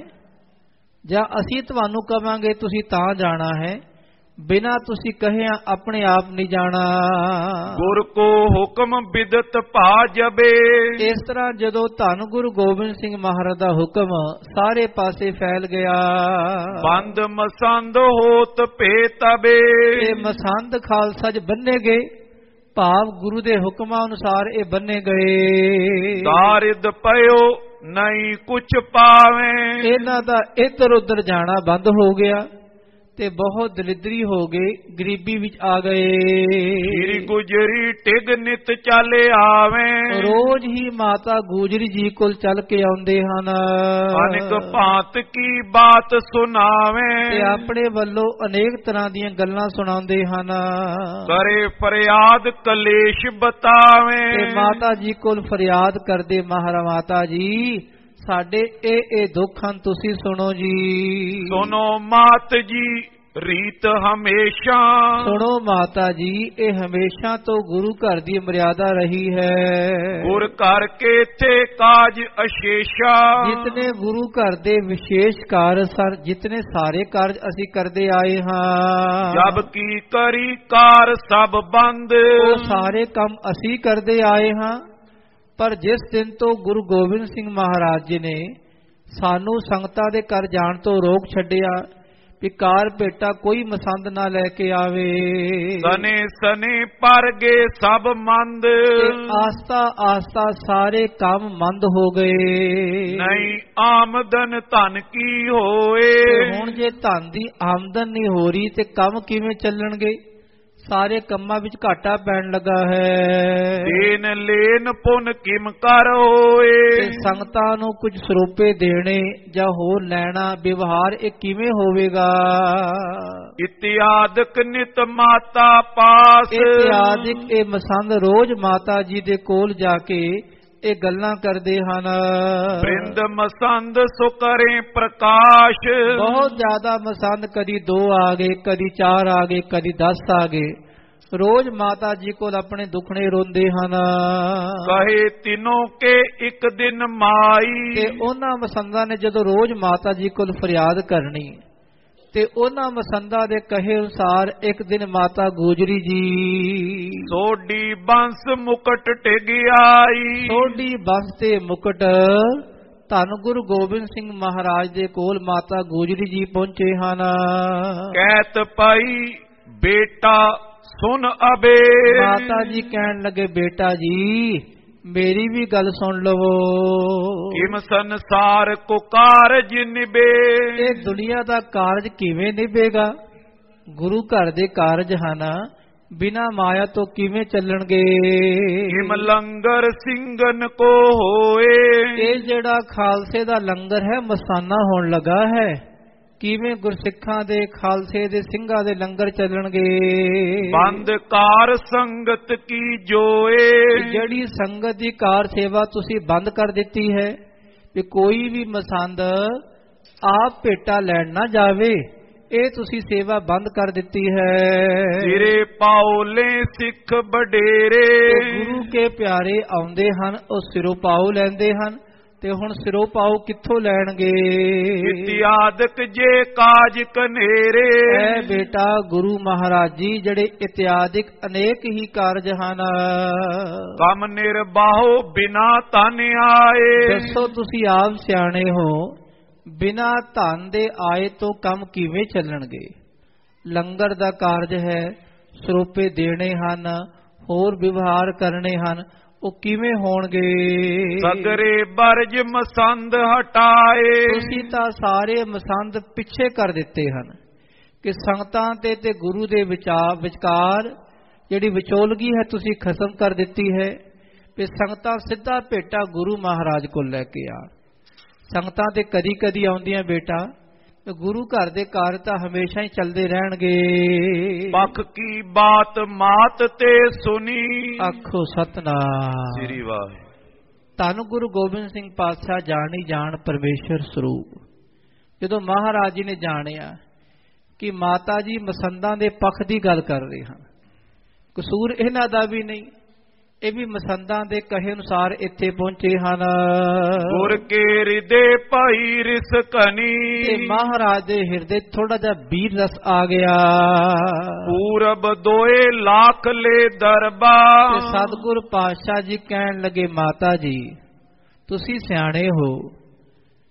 ਇਹ ਰੱਬ ਦਾ ਹੁਕਮ ਹੈ ਜਿਵੇਂ ਹੋਣਾ ਉਵੇਂ ਹੋਣਾ ਹੈ। ਇਹ ਗੁਰੂ ਘਰ ਦੀ ਮਾਇਆ ਇਹ ਰੱਬ ਆਪ ਚਲਾਵੇਗਾ ਰੱਬ ਆਪ ਨੇ ਕਣ ਚਲਾਣੇ ਹਨ। ਕਿ ਜਿਹੜਾ ਤੁਹਾਡੇ ਕੋਲ ਪਹਿਲਾਂ 2 ਲੱਖ ਰੁਪਇਆ ਹੈ। ਧਰਿਓ ਛਪਾਏ ਖਜ਼ਾਨੋ ਸਰਬਾ। ਦੱਸੋ ਤੁਸੀਂ ਕਿਉਂ ਛਪਾਇਆ ਹੋਇਆ ਹੈ? ਪਹਿਲਾਂ ਉਹਨੂੰ ਖਰਚ ਕਰੋ। ਮਾਇਆ ਤੇ ਬੜੀ ਹੈ ਖਾਲਸੇ ਕੋਲ। ਪਹਿਲਾਂ 2 ਲੱਖ ਰੁਪਏ ਤੁਸੀਂ ਖਰਚਾ ਕਰੋ। ਮੈਂ ਲੰਗਰ ਸਿੱਖਨ ਤਿਸ ਮਾਈ। ਤੇ ਇਹ ਮਾਤਾ ਜੀ ਧਿਆਨ ਰੱਖਣਾ ਜਿਹੜੇ ਗੁਰੂ ਕੇ ਲੰਗਰ ਹਨ। ਭਲੇ ਸੰਭਾਰ ਰਾਖੀਏ ਤਾਈ। ਤੇ ਤੁਸੀਂ ਉਹ ਸਾਂਭ ਕੇ ਰੱਖੇ ਹੋਏ ਹਨ ਉਹਨ ਲੰਗਰਾਂ ਵਿੱਚ ਖਰਚੋ ਜੀ। ਜੋ ਸ਼ਤਰੂ ਐ ਤੁਰਕ ਹਮਾਰੇ। ਪਰ ਤੁਸੀਂ ਖਰਚ ਨਹੀਂ ਰਹੇ ਕਿਉਂਕਿ ਸਮਾਂ ਆਉਣਾ ਹੈ ਜਿਹੜੇ ਦੁਸ਼ਮਣ ਹਨ। ਗੁਰੂ ਘਰ ਦੇ ਵੈਰੀ ਹਨ ਇਹ ਤੁਰਕ ਹਨ ਇਹ ਮਲੇਸ਼ ਬਿਰਤੀ ਵਾਲੇ ਹਨ। ਭਾਗ ਤਿਨੋ ਕੋ ਤਾਏ ਮਝਾਰੇ। ਲੱਗਦਾ ਹੈ 2 ਲੱਖ ਉਹਨਾਂ ਦੇ ਕਰਮਾਂ ਦਾ ਹੈ। ਜਿਹੜਾ ਤੁਸੀਂ ਸਾਂਭ ਕੇ ਰੱਖਿਆ ਹੋਇਆ ਨਾ ਲੁਕਾ ਲੁਕਾ ਕੇ ਛੁਪਾ ਕੇ ਰੱਖਿਆ ਪਤਾ ਵੀ ਔਖੇ ਵੇਲੇ ਕੰਮ ਆਵੇਗਾ। ਹੁਣ ਪਾਤਸ਼ਾਹ ਗੰਮੀ ਬਚਨ ਕਹਿ ਰਹੇ ਖਾਲਸਾ ਕਿਸੇ ਦਾ ਦੋਸ਼ ਨਹੀਂ ਇਸ ਵਿੱਚ। ਰੱਬ ਦਾ ਹੁਕਮ ਹੀ ਇਸ ਤਰ੍ਹਾਂ ਹੀ ਹੈ ਖਾਲਸਾ ਜੀਓ। ਪਾਤਸ਼ਾਹ ਕਹਿਣ ਲੱਗੇ ਮਾਤਾ ਜੀ ਇਹ 2 ਲੱਖ ਰੁਪਇਆ ਉਹਨਾਂ ਮਲੇਸ਼ਾਂ ਲਈ ਹੈ। ਸਿੱਖੀ ਪਿੱਕੀ ਭਲੇ ਸਭ ਪਾਵੋ ਤੇ ਜੋ ਸਿੱਖੀ ਅਸੀਂ ਵੇਖ ਰਹੇ ਹਾਂ ਇਹ ਭਲੀ ਹੈ। ਸਿੱਖੋ ਲੂਟ ਕੂਟ ਤੁਮ ਖਾਵੋ। ਤੇ ਜਿਹੜੇ ਸਿੱਖ ਹਨ ਉਹ ਤਾਂ ਲੂਟ ਬੂਟ ਖਾਣੇ ਕੋ ਡਾਢੋ ਉਸਤਾਦ ਜਿਸੂ। ਇਹ ਤਾਂ ਲੁੱਟ ਮੁੱਟ ਕਰਨ ਵਾਲੇ ਹਨ। ਭੂਖਾ ਸਤਗੁਰ ਕੋ ਪਰਵਾਰ। ਇਹ ਮਤ ਜਾਣੋ ਵੀ ਗੁਰੂ ਘਰ ਦਾ ਪਰਿਵਾਰ ਭੁੱਖਾ ਹੈ। ਇਹ ਤਾਂ ਤਿਆਰ ਬਰ ਤਿਆਰ ਰਹਿਣ ਵਾਲੇ ਹਨ। ਜਿਤ ਕਿਤ ਤੇ ਕਰ ਲਿਓ ਆਹਾਰ। ਗੁਰੂ ਕੇ ਪਿਆਰੇ ਕਦੀ ਭੁੱਖੇ ਨਹੀਂ ਰਹਿੰਦੇ ਜਿੱਧਰੋਂ ਕਿਧਰੋਂ ਆਹਾਰ ਕਰ ਹੀ ਲੈਂਦੇ ਹਨ। ਸੁਨ ਕਰ ਡਰ ਔਰ ਸਿੰਘਨ ਧਾਰਾ। ਤੇ ਇਹ ਗੱਲ ਸੁਣ ਕੇ ਗੁਰੂ ਕੇ ਸਿੰਘਾਂ ਨੇ ਵੀ ਮਨ ਵਿੱਚ ਡਰ ਧਾਰਨ ਕਰ ਲਿਆ। ਹੱਥ ਜੋਰ ਕਰ ਬਿਨੇ ਉਚਾਰਾ। ਸਾਰੇ ਗੁਰਸਿੱਖਾਂ ਨੇ ਹੱਥ ਜੋੜ ਕੇ ਬੇਨਤੀ ਕੀਤੀ ਹੈ। ਰਾਵਰ ਬਾਕ RAM ਕੇ ਬਾਨਾ। ਪਾਤਸ਼ਾਹ ਜੀ, ਇਤਨੇ ਕਰੜੇ ਵਚਨ ਨਾ ਆਖੋ ਮਹਾਰਾਜ। ਕਿ ਪਾਤਸ਼ਾਹ ਤੁਹਾਡਾ ਖਾਲਸਾ ਪੰਥ ਕੜਾਕੇ ਵਿੱਚ ਰਵੇ। ਮਹਾਰਾਜ, ਇਹ ਵਚਨ ਤਾਂ ਨਾ ਆਖੋ ਪਾਤਸ਼ਾਹ, ਤੁਹਾਡੇ ਵਚਨ ਐਸੇ ਪਰਮੇਸ਼ਰ ਦੇ ਤੀਰ ਵਾਂਗ ਹਨ ਜਿਹੜੇ ਕਦੀ ਖਾਲੀ ਨਹੀਂ ਜਾਂਦੇ। ਨਿਸ਼ਪਲ ਹੋਤ ਨਹੀਂ ਸਭ ਜਾਨਾ। ਤੇ ਪਾਤਸ਼ਾਹ ਸਾਰੀ ਦੁਨੀਆ ਜਾਣਦੀ ਹੈ ਤੁਹਾਡੇ ਬਚਨ ਅਟਲ ਹੁੰਦੇ ਹਨ। ਕਿਰਪਾ ਕਰੋ ਸਭ ਕੋ ਰੱਖ ਲੀਜੈ। ਮਹਾਰਾਜ ਕਿਰਪਾ ਕਰੋ ਸਾਨੂੰ ਸਭ ਨੂੰ ਬਚਾ ਲਓ ਪਾਤਸ਼ਾਹ। ਐਸੇ ਬਚਨ ਤਾਂ ਨਾ ਆਖੋ ਪਾਤਸ਼ਾਹ ਸਾਡੇ ਸਭ ਦੀ ਪੈਜ ਰੱਖੋ ਜੀ। ਭਲੇ ਬਾਕ ਸਭ ਕੋ ਕਹਿ ਦੀਜੈ। ਮਹਾਰਾਜ ਆਪਣੇ ਮੁਖਾਰ ਬਿਨ ਤੋਂ ਭਲੇ ਬਚਨ ਆਖੋ। ਕਿ ਸਭ ਦਾ ਭਲਾ ਹੋ ਜਾਵੇ। ਸੁਨ ਸ਼੍ਰੀ ਮੁਖ ਤੇ ਬੌਰ ਉਚਾਰੀ। ਇਹ ਗੱਲ ਸੁਣ ਕੇ ਧੰਨ ਗੁਰੂ ਗੋਬਿੰਦ ਸਿੰਘ ਮਹਾਰਾਜ ਜੀ ਨੇ ਆਪਣੇ ਮੁਖਾਰ ਬਿਨ ਤੋਂ ਫਿਰ ਉਚਾਰਨ ਕੀਤਾ। ਬਾਬਾ ਨਾਨਕ ਜਗ ਗੁਰ ਭਾਰੀ। ਪਾਤਸ਼ਾਹ ਕਹਿਣ ਲੱਗੇ ਖਾਲਸਾ ਜੀਓ ਧੰਨ ਗੁਰੂ ਨਾਨਕ ਮਹਾਰਾਜ ਬਾਬਾ ਨਾਨਕ ਜੀ ਆਪ ਨਰਾਇਣ ਅਕਾਲ ਪੁਰਖ ਪ੍ਰਮਾਤਮਾ ਸਰੂਪ ਗੁਰੂ ਨਾਨਕ ਪਾਤਸ਼ਾਹ ਜੀ ਜਿਹੜੇ ਭਾਰੀ ਗੁਰੂ ਹਨ ਦੁਨੀਆ ਵਿੱਚ ਆਏ। ਤਿਨੋ ਕਏ ਬਾਕਨ ਅਬਿਰਾਮੇ ਉਹਨਾਂ ਦੇ ਬਚਨ ਅਟਲ ਹਨ ਬੜੇ ਸੁੰਦਰ ਬਚਨ ਹਨ ਉਹਨਾਂ ਦੇ। ਵਰਤੋਂਗਾ ਪਹਿਰੋ ਦਸ ਜਾਮੇ। ਗੁਰੂ ਨਾਨਕ ਪਾਤਸ਼ਾਹ ਦੇ ਬਚਨ ਅਸੀਂ ਵਰਤਾਂਗੇ 10 ਚਾਮੇ ਧਾਰਨ ਕਰਕੇ। ਵੱਖ-ਵੱਖ 10 ਚਾਮੇ ਧਾਰਨ ਕਰਾਂਗੇ ਤੇ ਗੁਰਸਿੱਖੀ ਦਾ ਪ੍ਰਚਾਰ ਪ੍ਰਸਾਰ ਕਰਾਂਗੇ।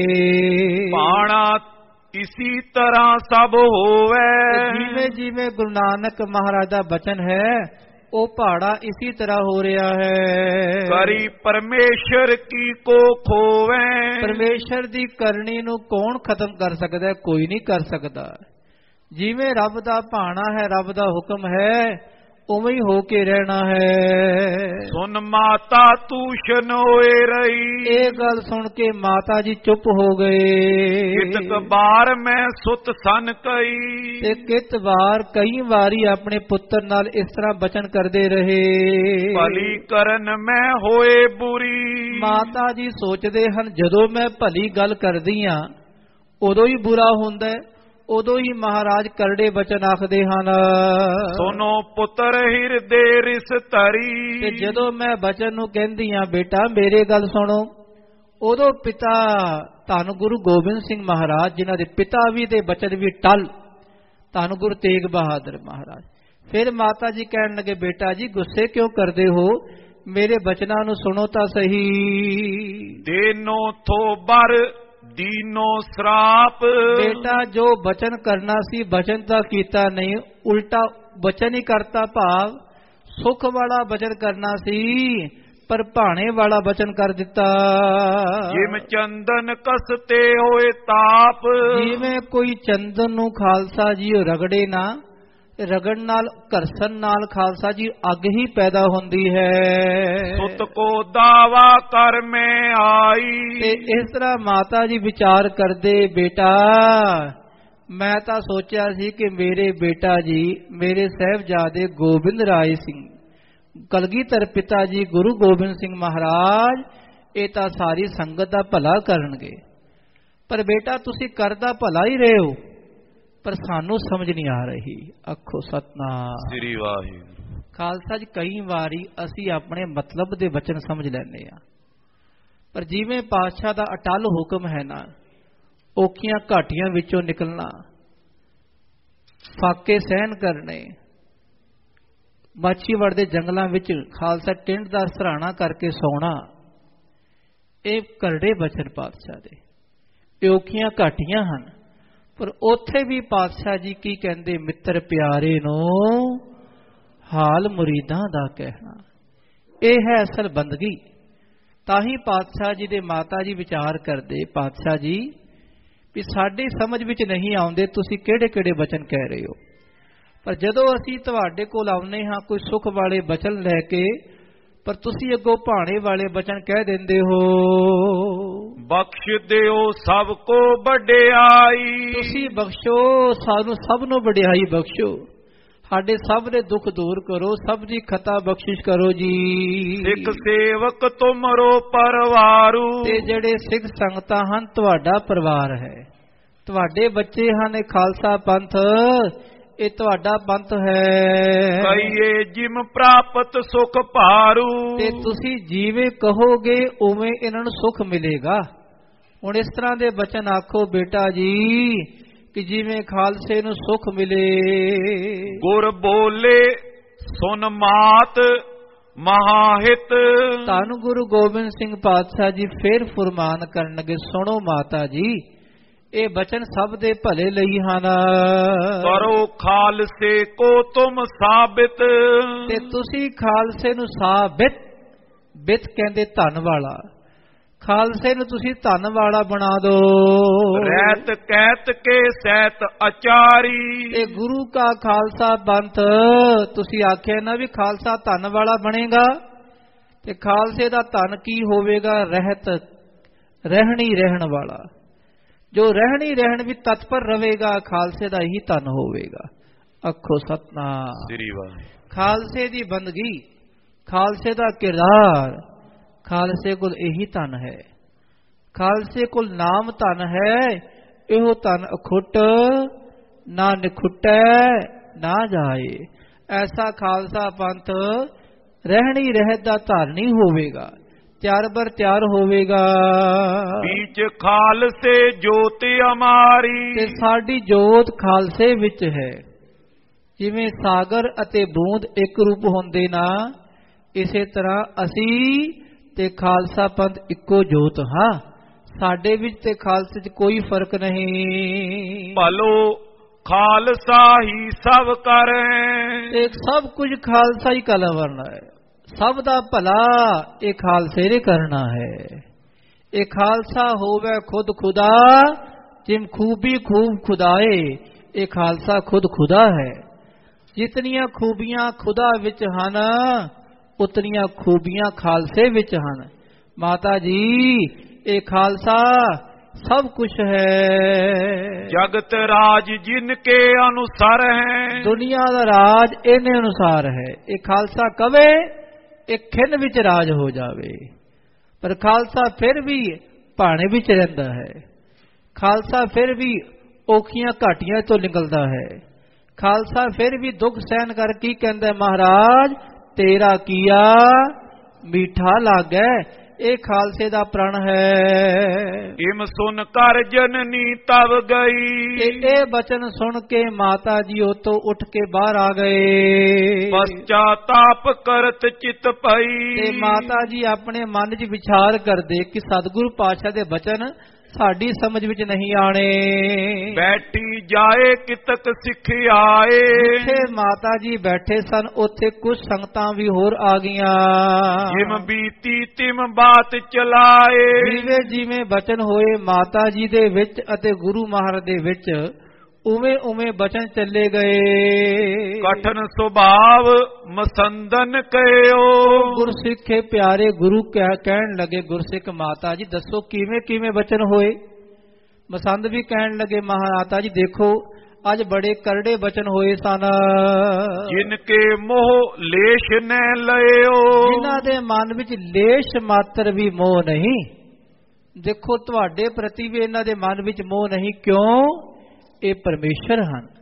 ਤੇ ਪਰਮੇਸ਼ਰ ਦੇ ਮਨ ਵਿੱਚ ਮੋਹ ਸਭ ਲਈ ਬਰਾਬਰ ਹੁੰਦਾ ਹੈ। ਉਹ ਪ੍ਰੇਮ ਸਰੂਪ ਹਨ। ਐਸੇ ਗੁਰੂ ਗੋਬਿੰਦ ਸਿੰਘ ਮਹਾਰਾਜ ਮੋਹ ਤੋਂ ਰਹਿਤ ਪ੍ਰੇਮ ਸਰੂਪ ਹਨ।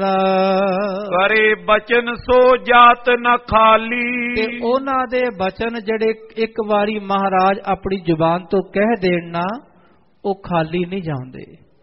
ਇੱਕ ਸਾਧ ਬਚਨ ਅਟਲਾਦਾ ਅਟਲ ਬਚਨ ਗੁਰੂ ਮਹਾਰਾਜ ਦੇ ਹਨ। ਤਤ ਛਿਨ ਫਲੇ ਸੁਖ ਕੇ ਦੁਖ ਨਾਲੀ। ਭਾਵੇਂ ਬਚਨ ਸੁਖ ਵਾਲੇ ਹੋਣ ਭਾਵੇਂ ਬਚਨ ਦੁੱਖ ਵਾਲੇ ਹੋਣ ਉਸੇ ਵੇਲੇ ਪ੍ਰਫੁੱਲਿਤ ਹੁੰਦੇ ਹਨ। ਧੰਨ ਗੁਰੂ ਗੋਬਿੰਦ ਸਿੰਘ ਪਾਤਸ਼ਾਹ ਕਲਗੀਧਰ ਪਿਤਾ ਜੀ ਦੇ ਬਚਨ ਭਾਵੇਂ ਕਿਸੇ ਲਈ ਸੁਖਦਾਈ ਹੋਣ ਕਿਸੇ ਲਈ ਸੁਖਦਾਈ ਪਰ ਉਹਨਾਂ ਦੇ ਬਚਨ ਤਾਂ ਰੱਬ ਦੇ ਭਾਣੇ ਵਿੱਚੋਂ ਹੀ ਬਾਹਰ ਆਉਂਦੇ ਹਨ। ਵਿਪਰੈ ਕੈ ਸ਼ਕਤ ਕਿਸ ਮਾਈ? ਇਹ ਐਸਾ ਬੰਦਾ ਕਿਹੜਾ ਸ਼ਕਤੀਸ਼ਾਲੀ ਹੈ? ਕਿਹੜਾ ਬਲਵਾਨ ਹੈ? ਜਿਹੜਾ ਉਹਨਾਂ ਦੇ ਉਲਟ ਬਚਨ ਕੋਈ ਕਹਿ ਸਕੇ ਨਹੀਂ ਮਹਾਰਾਜ ਇਹ ਨਹੀਂ ਇਹ ਆਖੋ ਕਿਸੇ ਵਿੱਚ ਇਤਨੀ ਸ਼ਕਤੀ ਨਹੀਂ ਜਿਹੜਾ ਪਾਤਸ਼ਾਹ ਦੇ ਸਾਹਮਣੇ ਕੁਝ ਬੋਲ ਸਕੇ। ਬੋਲੇ ਸਮੁਖ ਅਧਿਕ ਡਰ ਪਾਈ। ਜਿਹੜਾ ਬੋਲੇਗਾ ਉਹਨੂੰ ਆਪ ਵੀ ਡਰ ਲੱਗਦਾ ਹੈ। ਇਸ ਕਰਕੇ ਮਾਤਾ ਜੀ ਅਸੀਂ ਨਹੀਂ ਬੋਲ ਸਕਦੇ ਪਾਤਸ਼ਾਹ ਦੇ ਸਾਹਮਣੇ ਅਸੀਂ ਡਰਦੇ ਹਾਂ। ਕਹਿਬੇ ਕੋ ਤੁਮ ਉਚਿਤ ਵਿਸਾਲੇ। ਤੁਸੀਂ ਆਖਿਆ ਸੀ ਆਪਣੇ ਸਹਿਬਜ਼ਾਦੇ ਨੂੰ ਤੁਸੀਂ ਤਾਂ ਉਚਿਤ ਰੂਪ ਵਿੱਚ ਆਖਿਆ ਸੀ। ਤਉ ਸਰਾਪ ਪਾ ਰਿਸੇ ਕੋ ਡਾਲੇ। ਫਿਰ ਵੀ ਦੇਖੋ ਕੈਸੇ ਕਰੜੇ ਬਚਨ ਹੋਏ। ਜੋ ਅਟਲ ਹੁਕਮ ਹੋਣਾ ਸੀ ਉਹੀ ਬਚਨ ਹੋ ਗਏ। ਸ਼੍ਰੀ ਗੁਜਰੀ ਤਵ ਸਬਨ ਸੁਨਾਏ। ਉਸ ਵੇਲੇ ਮਾਤਾ ਗੂਜਰੀ ਜੀ ਨੇ ਸਭਨਾਂ ਨੂੰ ਇੱਕ ਗੱਲ ਸੁਣਾਈ ਹੈ। ਅਲਪ ਬੈਸ ਤੇ ਜੇ ਜਿੱਦ ਪਾਏ। ਮਾਤਾ ਜੀ ਕਹਿਣ ਲੱਗੇ ਸੁਣੋ ਸਿੰਘੋ ਸੁਣੋ ਗੁਰੂ ਕੇ ਪਿਆਰਿਓ ਇਹ ਮੇਰਾ ਸਾਹਿਬਜ਼ਾਦਾ ਗੁਰੂ ਗੋਬਿੰਦ ਸਿੰਘ ਜੀ। ਇਹ ਬਚਪਨ ਤੋਂ ਹੀ ਕਰੜੇ ਸੁਭਾਅ ਵਾਲੇ ਹਨ। ਇੱਕ ਦਿਨ ਜਲ ਕ੍ਰੀੜਾ ਕੋ ਕਰੇ। ਇੱਕ ਦਿਨ ਇਹ ਜਲ ਵਿੱਚ ਕ੍ਰੀੜਾ ਕਰ ਰਹੇ ਸਨ। ਭਾਵ ਪਾਣੀ ਵਿੱਚ ਖੇਡ ਰਹੇ ਸਨ। ਛੀਟਨ ਦੇਤ ਪਰਸ ਪਰ ਫਿਰੇ ਦੋ ਟੋਲੀਆਂ ਬਣਾ ਬਣਾ ਕੇ ਇੱਕ ਪਾਸੇ ਇੱਕ ਟੋਲੀ ਦੂਜੇ ਪਾਸੇ ਦੂਜੀ ਟੋਲੀ। ਤੇ ਨਦੀ ਵਿੱਚ ਇੱਕ ਦੂਜੇ ਉੱਤੇ ਪਾਣੀ ਦੀ ਛਿੱਟਾ ਮਾਰ ਰਹੇ ਸਨ। ਰਾਏ ਗੁਲਾਬ ਸ਼ਿਆਮ ਸਿੰਘ ਯਾਦ ਤੇ ਗੁਲਾਬ ਰਾਏ ਅਤੇ ਸ਼ਾਮ ਸਿੰਘ ਆਦਿਕ ਬੱਚੇ ਇਹਨਾਂ ਨਾਲ ਖੇਡ ਰਹੇ ਸਨ। ਬਾਲਕ ਬੈ ਖੇਲੇ ਐਲਾਦ। ਤੇ ਜਿਹੜੇ ਬਚਪਨ ਦੀ ਉਮਰ ਵਿੱਚ ਇਹ ਖੇਡ ਖੇਡੇ ਇਹਨਾਂ ਨੇ ਉਹਨਾਂ ਵਿੱਚ ਗੁਲਾਬ ਰਾਏ ਤੇ ਸ਼ਾਮ ਰਾਏ ਵੀ ਸੀ। ਇਹ ਜਿਹੜੇ ਖਾਲਸਾ ਜੀਓ ਸ੍ਰੀ ਕੀਰਤਪੁਰ ਸਾਹਿਬ ਨਿਵਾਸ ਕਰਦੇ ਸੀ ਤੇ ਉਦੋਂ ਮਹਾਰਾਜ ਸਤਲੁਜ ਦਰਿਆ ਦੇ ਵਿੱਚ ਨਦੀ ਵਿੱਚ ਮਹਾਰਾਜ ਕੋਤਕ ਕਰਦੇ ਸਨ। ਜਰੇ ਜਵਾਹਰ ਜਾਹਰ ਜੋਤ। ਤੇ ਜਿਹੜੇ ਧੰਨ ਗੁਰੂ ਗੋਬਿੰਦ ਸਿੰਘ ਮਹਾਰਾਜ ਜੀ ਨੇ ਗਹਿਣੇ ਪਾਏ ਹੱਥ ਵਿੱਚ ਕੜਾ ਪਾਇਆ ਹੋਇਆ ਹੈ ਉਸ ਕੜੇ ਵਿੱਚ ਹੀਰੇ ਮੋਤੀ ਜੜੇ ਹੋਏ ਸਨ। ਬੋ ਮੋਲੇ ਕੰਕਨ ਕਰ ਹੋਤ। ਬਹੁਤ ਕੀਮਤੀ ਸੋਨੇ ਦੇ ਕੜੇ ਜਿਸ ਵਿੱਚ ਹੀਰੇ ਮੋਤੀ ਜੜੇ ਹੋਏ ਮਹਾਰਾਜ ਜੀ ਨੂੰ ਧਾਰਨ ਕੀਤੇ ਹੋਏ ਸਨ। ਜਲ ਮੈਂ ਏਕ ਕਟਕ ਗਿਰ ਪਰਿਓ। ਤੇ ਖੇਡਦੇ ਖੇਡਦੇ ਇੱਕ ਕੜਾ ਪਾਣੀ ਵਿੱਚ ਡਿੱਗ ਪਿਆ। ਨਹੀਂ ਨਿਹਾਰ ਸੰਭਾਰਨ ਕਰਿਓ। ਸਤਿਗੁਰੂ ਮਹਾਰਾਜ ਤਾਂ ਖੇਲ ਦੇ ਆਨੰਦ ਵਿੱਚ ਮਹਾਰਾਜ ਰੁੱਝੇ ਹੋਏ ਸਨ ਤੇ ਮਹਾਰਾਜ ਜੀ ਨੇ ਆਪਣਾ ਕੜਾ ਨਹੀਂ ਸਾਂਭਿਆ। ਸ਼ੁਸ਼ਕ ਬਸਤਰ ਪਹਿਰੇ ਤਬ ਹੀਰਿਓ। ਜਦੋਂ ਖੇਡ ਕੇ ਬਾਹਰ ਆਏ ਕੱਪੜੇ ਬਦਲੇ ਕੱਪੜੇ ਸੁੱਕੇ ਪਾਏ ਮਹਾਰਾਜ ਜੀ ਨੇ। ਦਾਸਨ ਕਿਓ ਕੜਾ ਜਲ ਗੇਰਿਓ। ਉਦੋਂ ਵੇਖਿਆ ਵੀ ਕੜਾ ਕਿੱਥੇ ਕੜਾ ਤੇ ਹੈ ਹੀ ਨਹੀਂ। ਦਾਸਾ ਨੇ ਆਖਿਆ ਦੱਸਿਆ ਮਾਤਾ ਜੀ ਇਹ ਤੁਹਾਡੇ ਸਹਿਬਜ਼ਾਦੇ ਆਪਣਾ ਕੜਾ ਜਲ ਵਿੱਚ ਗੇਰ ਆਏ ਹਨ।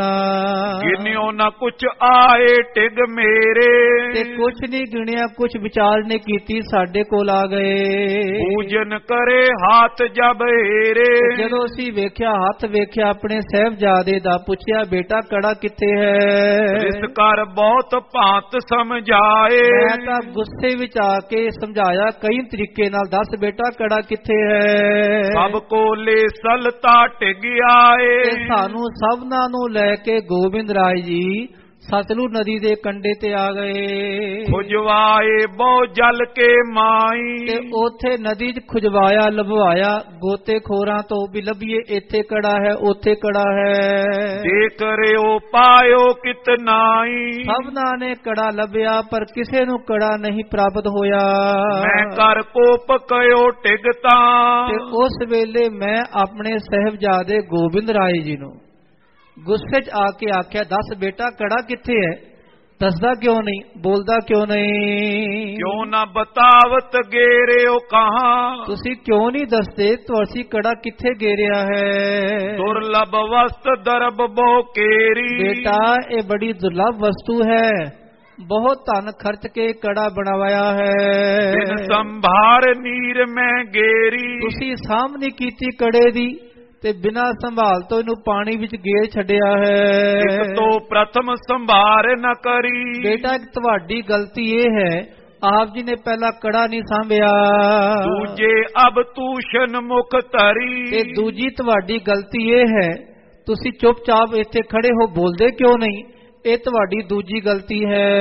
ਤਨ ਵਿਸਾਲ ਕੋ ਬਾਦੇ ਤੇ ਬੇਟਾ ਬਹੁਤ ਧਨ ਲਗਾ ਕੇ ਕੜਾ ਬਣਵਾਇਆ ਸੀ। ਤੇ ਤੁਸੀਂ ਐਵੇਂ ਹੀ ਬੇਫਜ਼ੂਲ ਇਹਨੂੰ ਗਵਾ ਛੱਡਿਆ ਹੈ। ਕਹਾ ਬੁੱਧ ਤੁਮਰੀ ਕੋ ਹੋਵਾ? ਬੇਟਾ ਤੁਹਾਡੀ ਬੁੱਧੀ ਨੂੰ ਕੀ ਹੋ ਗਿਆ ਹੈ? ਇਤਿਆਦਿਕ ਕਰ ਕੋ ਪਮਾਨਾ ਇਤਿਆਦਿਕ ਜਦੋਂ ਮੈਂ ਗੁੱਸੇ ਵਿੱਚ ਆ ਕੇ ਗੋਬਿੰਦ ਰਾਏ ਜੀ ਨੂੰ ਬਚਨ ਆਖੇ। ਕਰੀ ਮੌਨ ਰਿਸ ਕੈ ਸੁਨ ਕਾਨਾ। ਤੇ ਗੋਬਿੰਦ ਰਾਏ ਜੀ ਉਸ ਵੇਲੇ ਚੁੱਪ ਹੋ ਗਏ। ਤੇ ਚੁੱਪ ਹੋ ਗਏ ਥੋੜੇ ਵੀਰ ਰਸ ਵਿੱਚ ਆਏ। ਦੂਜੋ ਕੰਕਨ ਹਾਥ ਜਿਹੜਾ ਦੂਜਾ ਕੜਾ ਆਪਣੇ ਹੱਥ ਵਿੱਚ ਪਾਇਆ ਹੋਇਆ ਸੀ ਇਹਨਾਂ ਨੇ। ਸਭ ਕੇ ਦੇਖਤ ਤੁਰਤੇ ਉਤਾਰਾ। ਸਭ ਦੇ ਵੇਖਦਿਆਂ ਉਸੇ ਵੇਲੇ ਕੜਾ ਉਤਾਰਿਆ। ਕਰ ਬਲ ਬਾਹਨ ਦੂਰ ਬਗਾਇਓ। ਤੇ ਬਾਹਾਂ ਦਾ ਬਲ ਕਰਕੇ ਆਖਿਆ ਮਾਤਾ ਇੱਥੇ ਕੜਾ ਗਿਰਿਆ ਹੈ। ਅੱਖੋ ਸਤਨਾਮ। ਸ੍ਰੀ ਵਾਹਿਗੁਰੂ। ਜਦੋਂ ਪਹਿਲਾ ਕੜਾ ਜਿੱਥੇ ਗਿਰਿਆ ਸੀ ਖਾਲਸਾ ਜੀਓ। ਫਿਰ ਪਾਤਸ਼ਾਹ ਨੇ ਖਾਲਸਾ ਦੂਜਾ ਕੜਾ ਗੇ ਚੱਕਿਆ, ਆਪਣੀ ਲਾਇਆ ਬਾਹ ਵਿੱਚੋਂ ਤੇ ਬਾਹ ਵਿੱਚੋਂ ਲਾ ਕੇ ਮਹਾਰਾਜ ਕਹਿਣ ਲੱਗੇ, ਮਾਤਾ ਜੀ, ਇਹ ਲੋ ਕੜਾ, ਇਹ ਦੂਜਾ ਕੜਾ ਵੀ ਉੱਥੇ ਹੀ ਜਾ ਰਿਹਾ ਹੈ। ਤੇ ਇੱਥੇ ਕੜਾ ਗਿਰਿਆ ਹੈ। ਤਦਰਵ ਕੇ ਪਰਵਾ ਮੈਂ ਪਾਇਓ। ਤੇ ਸਤਲੁਜ ਦਰਿਆ ਦੇ ਵਿੱਚ ਜਿਹੜਾ ਪ੍ਰਵਾਹ ਬੜਾ ਤੇਜ਼ ਵਗਦਾ ਸੀ ਉੱਥੇ ਦੂਜਾ ਕੜਾ ਗਿਰਿਆ। ਸਕਲ ਬਿਲੋਕਤ ਬੋ ਬਿਸਮਾਏ। ਤੇ ਸਾਰੀ ਸੰਗਤਾਂ ਸਾਰੇ ਗੁਰੂ ਕੇ ਪਿਆਰੇ ਇਹ ਕੌਤਕ ਵੇਖ ਕੇ ਬੜੇ ਹੈਰਾਨ ਹੋਏ। ਕਹਾ ਕੀਨ ਕਟ ਦੁਤੀ ਬਗਾਏ। ਤੇ ਕੀ ਭਾਣਾ ਵਰਤਾਇਆ ਦੂਜਾ ਘੜਾ ਵੀ ਇੱਥੇ ਗੇਰ ਛੱਡਿਆ।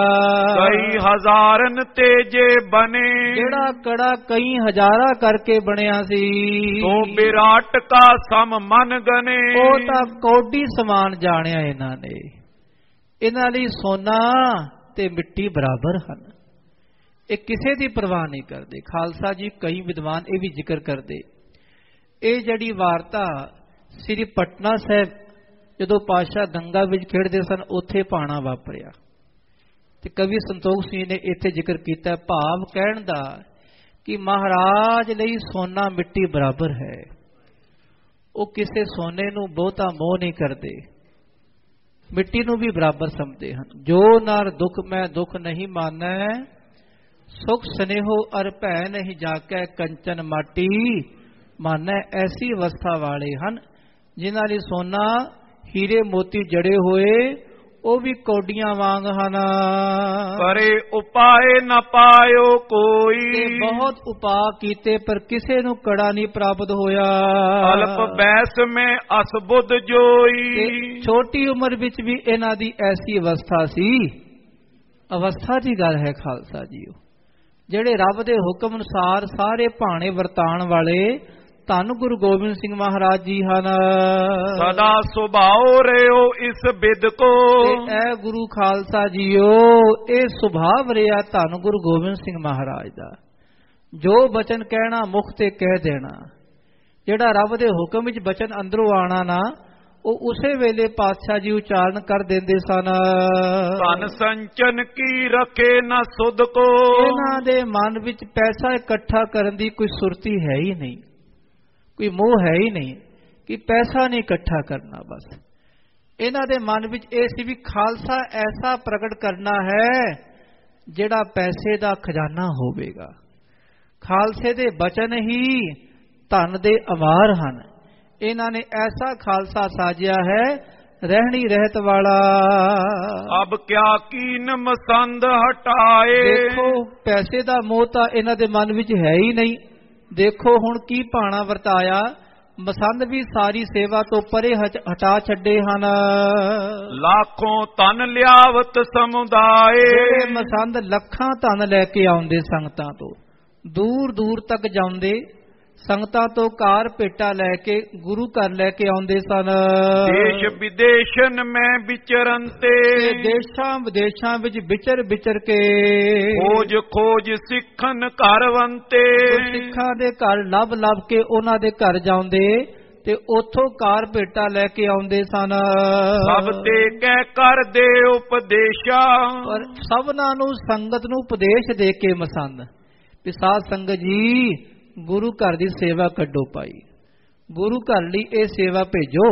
ਇਸ ਤਰ੍ਹਾਂ ਸਭ ਨੂੰ ਨਾਮ ਦੀ ਸਿੱਖਿਆ ਦੇ ਕੇ ਭਗਤੀ ਵਾਲੀ ਸਿੱਖਿਆ ਦੇ ਕੇ ਭੇਟਾ ਲੈ ਕੇ ਆਉਂਦੇ ਸਨ। ਅਬ ਹਟ ਗਏ ਕਹਾਂ ਤਨ ਤੇ ਐ ਹੁਣ ਮਸੰਦ ਇਹ ਸੇਵਾ ਤੋਂ ਹਟਾ ਦਿੱਤੇ ਮਹਾਰਾਜ ਜੀ ਨੇ। ਤੇ ਦੱਸੋ ਗੁਰੂ ਘਰ ਦਾ ਗੁਜਰਾਨ ਕਿਵੇਂ ਚੱਲੇਗਾ? ਕਿਮ ਗੁਰ ਕਰ ਕੋ ਕਾਜ ਨਿਬੈ ਇਹ ਜਿਹੜੇ ਗੁਰੂ ਘਰ ਦੇ ਕਾਰਜ ਮਾਇਆ ਤੋਂ ਬਿਨਾਂ ਤੇ ਚੱਲਣੇ ਔਖੇ ਹਨ ਤੇ ਕਿਵੇਂ ਚੱਲਣਗੇ? ਕਿਮ ਉਰ ਜਾਨ ਨਿਕਟੋਏ ਤੇ ਕਹਿਓ ਕੌਣ ਜਾਵੇਗਾ ਮਹਾਰਾਜ ਕੋਲ? ਕਿ ਪਾਤਸ਼ਾਹ ਜੀ ਇਹ ਨਹੀਂ ਇਸ ਤਰ੍ਹਾਂ ਕਰੋ। ਇਸ ਤੇ ਸ਼ਰਾਪ ਦੁਖ ਦਈ ਲਇਓ। ਜੇ ਕੋਈ ਮਹਾਰਾਜ ਕੋਲ ਜਾ ਕੇ ਕਹਿੰਦਾ ਹੈ ਉਹਨੂੰ ਉਲਟਾ ਕਰੜਾ ਵਚਨ ਹੁੰਦਾ ਹੈ। ਪਾਤਸ਼ਾਹ ਜੀ ਇਹ ਧਨ ਦੇ ਮੋਹ ਤੋਂ ਰਹਿਤ ਹਨ। ਕੁਸ਼ਲ ਕਰੇ ਪਰਮੇਸ਼ਰ ਸਾਰੇ। ਵਾਹਿਗੁਰੂ ਆਪ ਸਭਨਾ ਦਾ ਭਲਾ ਕਰੇ। ਕਹਿ ਮੈਂ ਰਹੀ ਨ ਬੌਰ ਨਿਵਾਰੇ। ਤੇ ਮੈਂ ਤਾਂ ਕਈ ਵਾਰੀ ਆਖਿਆ ਗੋਬਿੰਦ ਸਿੰਘ ਜੀ ਨੂੰ ਪਰ ਇਹਨਾਂ ਨੇ ਮੇਰਾ ਬਚਨ ਕਦੀ ਨਹੀਂ ਮੰਨਿਆ। ਮਿਲ ਮਸੰਦ ਮਾਤਾ ਕੇ ਸੰਗ। ਇਸ ਤਰ੍ਹਾਂ ਮਸੰਦ ਮਾਤਾ ਜੀ ਨਾਲ ਮਿਲ ਕੇ ਕਹਿ ਸੁਨ ਜਾਣਿਓ ਬਨਿਓ ਕੁਟੰਗ। ਤੇ ਸਭ ਨੇ ਬਚਨ ਕਹੇ ਤੇ ਸੁਣੇ ਜਾਣੇ ਕਿ ਜਿਹੜਾ ਬਚਨ ਮਾਤਾ ਜੀ ਨੇ ਕੀਤਾ ਭਾਵੇਂ ਕੀਤਾ ਮਸੰਦਾਂ ਦੇ ਕਹੇ ਅਨੁਸਾਰ ਪਰ ਮਾਤਾ ਜੀ ਵੀ ਖਾਲਸਾ ਜੀ ਅੰਦਰ ਸਹਿਜ ਸੁਭਾਅ ਵਾਲੇ ਹਨ। ਪਤਾ ਹੈ ਉਹਨਾਂ ਨੂੰ ਕਿ ਉਹ ਵੀ ਆਪਣੇ ਸਹਿਬਜ਼ਾਦੇ ਗੋਬਿੰਦ ਰਾਏ ਜੀ ਦੇ ਹਜ਼ੂਰ ਕਦੀ ਉਲਟਾ ਬਚਨ ਨਹੀਂ ਆਂਦੇ ਉਹ ਵੀ ਤਾਂ ਬਚਨ ਉਹੀ ਕਰਦੇ ਜੋ ਰੱਬ ਦੇ ਹੁਕਮ ਅਨੁਸਾਰ ਹੋਣ। ਤੇ ਮਾਤਾ ਜੀ ਨੇ ਵੀ ਇਹ ਬਚਨ ਸਤ ਕਰਕੇ ਮੰਨੇ ਹਨ। ਬਾਤ ਬੇਬਸ ਤੇ ਤੂਸ਼ਨ ਪਏ ਸਾਰੇ ਫਿਰ ਵਿਵਸ ਹੋ ਗਏ ਵਿਵਸ ਹੋ ਕੇ ਚੁੱਪਚਾਪ ਹੋ ਗਏ। ਬੰਦਿਆ ਪਈ ਤਰਨ ਤੇ ਅਸਤਏ ਸ਼ਾਮ ਦਾ ਸਮਾਂ ਆ ਗਿਆ ਸੂਰਜ ਅਸਤ ਹੋ ਗਿਆ। ਇਸ ਤਰ੍ਹਾਂ ਖਾਲਸਾ ਜੀ, ਮਾਤਾ ਗੋਜਰੀ ਜੀ ਅਤੇ ਮਸੰਦਾਂ ਦੇ ਵਿਚਕਾਰ ਇਹ ਵਚਨ ਹੋਏ, ਜਿਹੜੇ ਵਚਨ ਰੱਬ ਦੇ ਹੁਕਮ ਅਨੁਸਾਰ ਹੋਣੇ ਸਨ ਖਾਲਸਾ ਜੀ। ਇਹ ਕਿਸੇ ਦੇ ਵੱਸ ਨਹੀਂ, ਔਖੀਆਂ ਘਾਟੀਆਂ ਆਉਣੀਆਂ ਸੀ ਖਾਲਸੇ ਲਈ। ਤੇ ਖਾਲਸਾ ਔਖੀਆਂ ਘਾਟੀਆਂ ਚੋਂ ਲੰਘ ਲੰਘ ਕੇ ਖਾਲਸਾ ਜੀਓ, ਸ਼ੁੱਧ ਬਣਦਾ ਹੈ। ਇਹ ਸੋਨਾ, ਉਹਨੂੰ ਜਿਤਨਾ ਖਾਲਸਾ ਜੀਓ, ਅੱਗ ਵਿੱਚ ਤਪਾਓ ਉਤਨਾ ਸ਼ੁੱਧ ਹੁੰਦਾ ਹੈ। ਤੇ ਖਾਲਸਾ ਤੇ ਪਿਓਰ ਹੈ ਖਾਲਸਾ ਜੀਓ। ਜਿਤਨਾ ਔਖੀਆਂ ਘਾਟੀਆਂ ਤੋਂ ਲੰਘਿਆ ਹੈ, ਸ਼ਹੀਦੀਆਂ ਹੋਈਆਂ, ਸਹਿਬਜ਼ਾਦਿਆਂ ਦੀਆਂ, ਸਿੰਘਾਂ ਦੀਆਂ, ਉਤਨਾ ਖਾਲਸਾ ਕਰੜਾ ਹੋਇਆ ਖਾਲਸਾ ਜੀ ਮਾਚੀਵੜ ਦੇ ਜੰਗਲਾਂ ਵਿੱਚ ਧੰਨ ਗੁਰੂ ਗੋਬਿੰਦ ਸਿੰਘ ਪਾਤਸ਼ਾਹ ਜੀ, ਮਿੱਤਰ ਪਿਆਰੇ ਨੂੰ ਹਾਲ ਮੁਰੀਦਾਂ ਦਾ ਕਹਿਣਾ, ਅੱਜ ਉਤਨੇ ਹੀ ਦਿੱਲੀ ਦੇ ਵਚ ਗੁਰੂ ਕੇ ਪਿਆਰੇ ਭਾਵੇਂ ਸੜਕਾਂ ਤੇ ਆਰਾਮ ਕਰਦੇ ਉਹ ਗੁਰੂ ਪਾਤਸ਼ਾਹ ਦੀ ਯਾਦ ਵਿੱਚ ਹਨ ਖਾਲਸਾ ਜੀ ਉਹਨਾਂ ਦੇ ਮਨ ਵਿੱਚ ਇਹੀ ਹੈ ਵੀ ਸਾਡੇ ਪਿਆਰੇ ਗੁਰੂ ਪਾਤਸ਼ਾਹ ਜੀ ਨੇ ਜ਼ਬਰ ਜ਼ੁਲਮ ਖਿਲਾਫ ਮਹਾਰਾਜ ਜੀ ਨੇ ਖੰਡਾ ਚੁੱਕਿਆ ਤੇ ਅੱਜ ਗੁਰੂ ਕੇ ਪਿਆਰੇ ਵੀ ਖਾਲਸਾ ਜਿਹੜੇ ਔਰੰਗਜ਼ੇਬ ਨਵੇਂ ਜੰਮ ਪਏ ਨਾ ਉਹਨਾਂ ਲਈ ਗੁਰੂ ਕੇ ਪਿਆਰੇ ਆਵਾਜ਼ ਬੁਲੰਦ ਕਰ ਰਹੇ ਹਨ ਤੇ ਸਾਰੇ ਇੱਕਮਿਕ ਹੋ ਕੇ ਰਹੀਏ ਘਾਟੀਆਂ ਔਖੀਆਂ ਹਨ ਮੁਸੀਬਤਾਂ ਬੜੀਆਂ ਆ ਰਹੀਆਂ ਹਨ।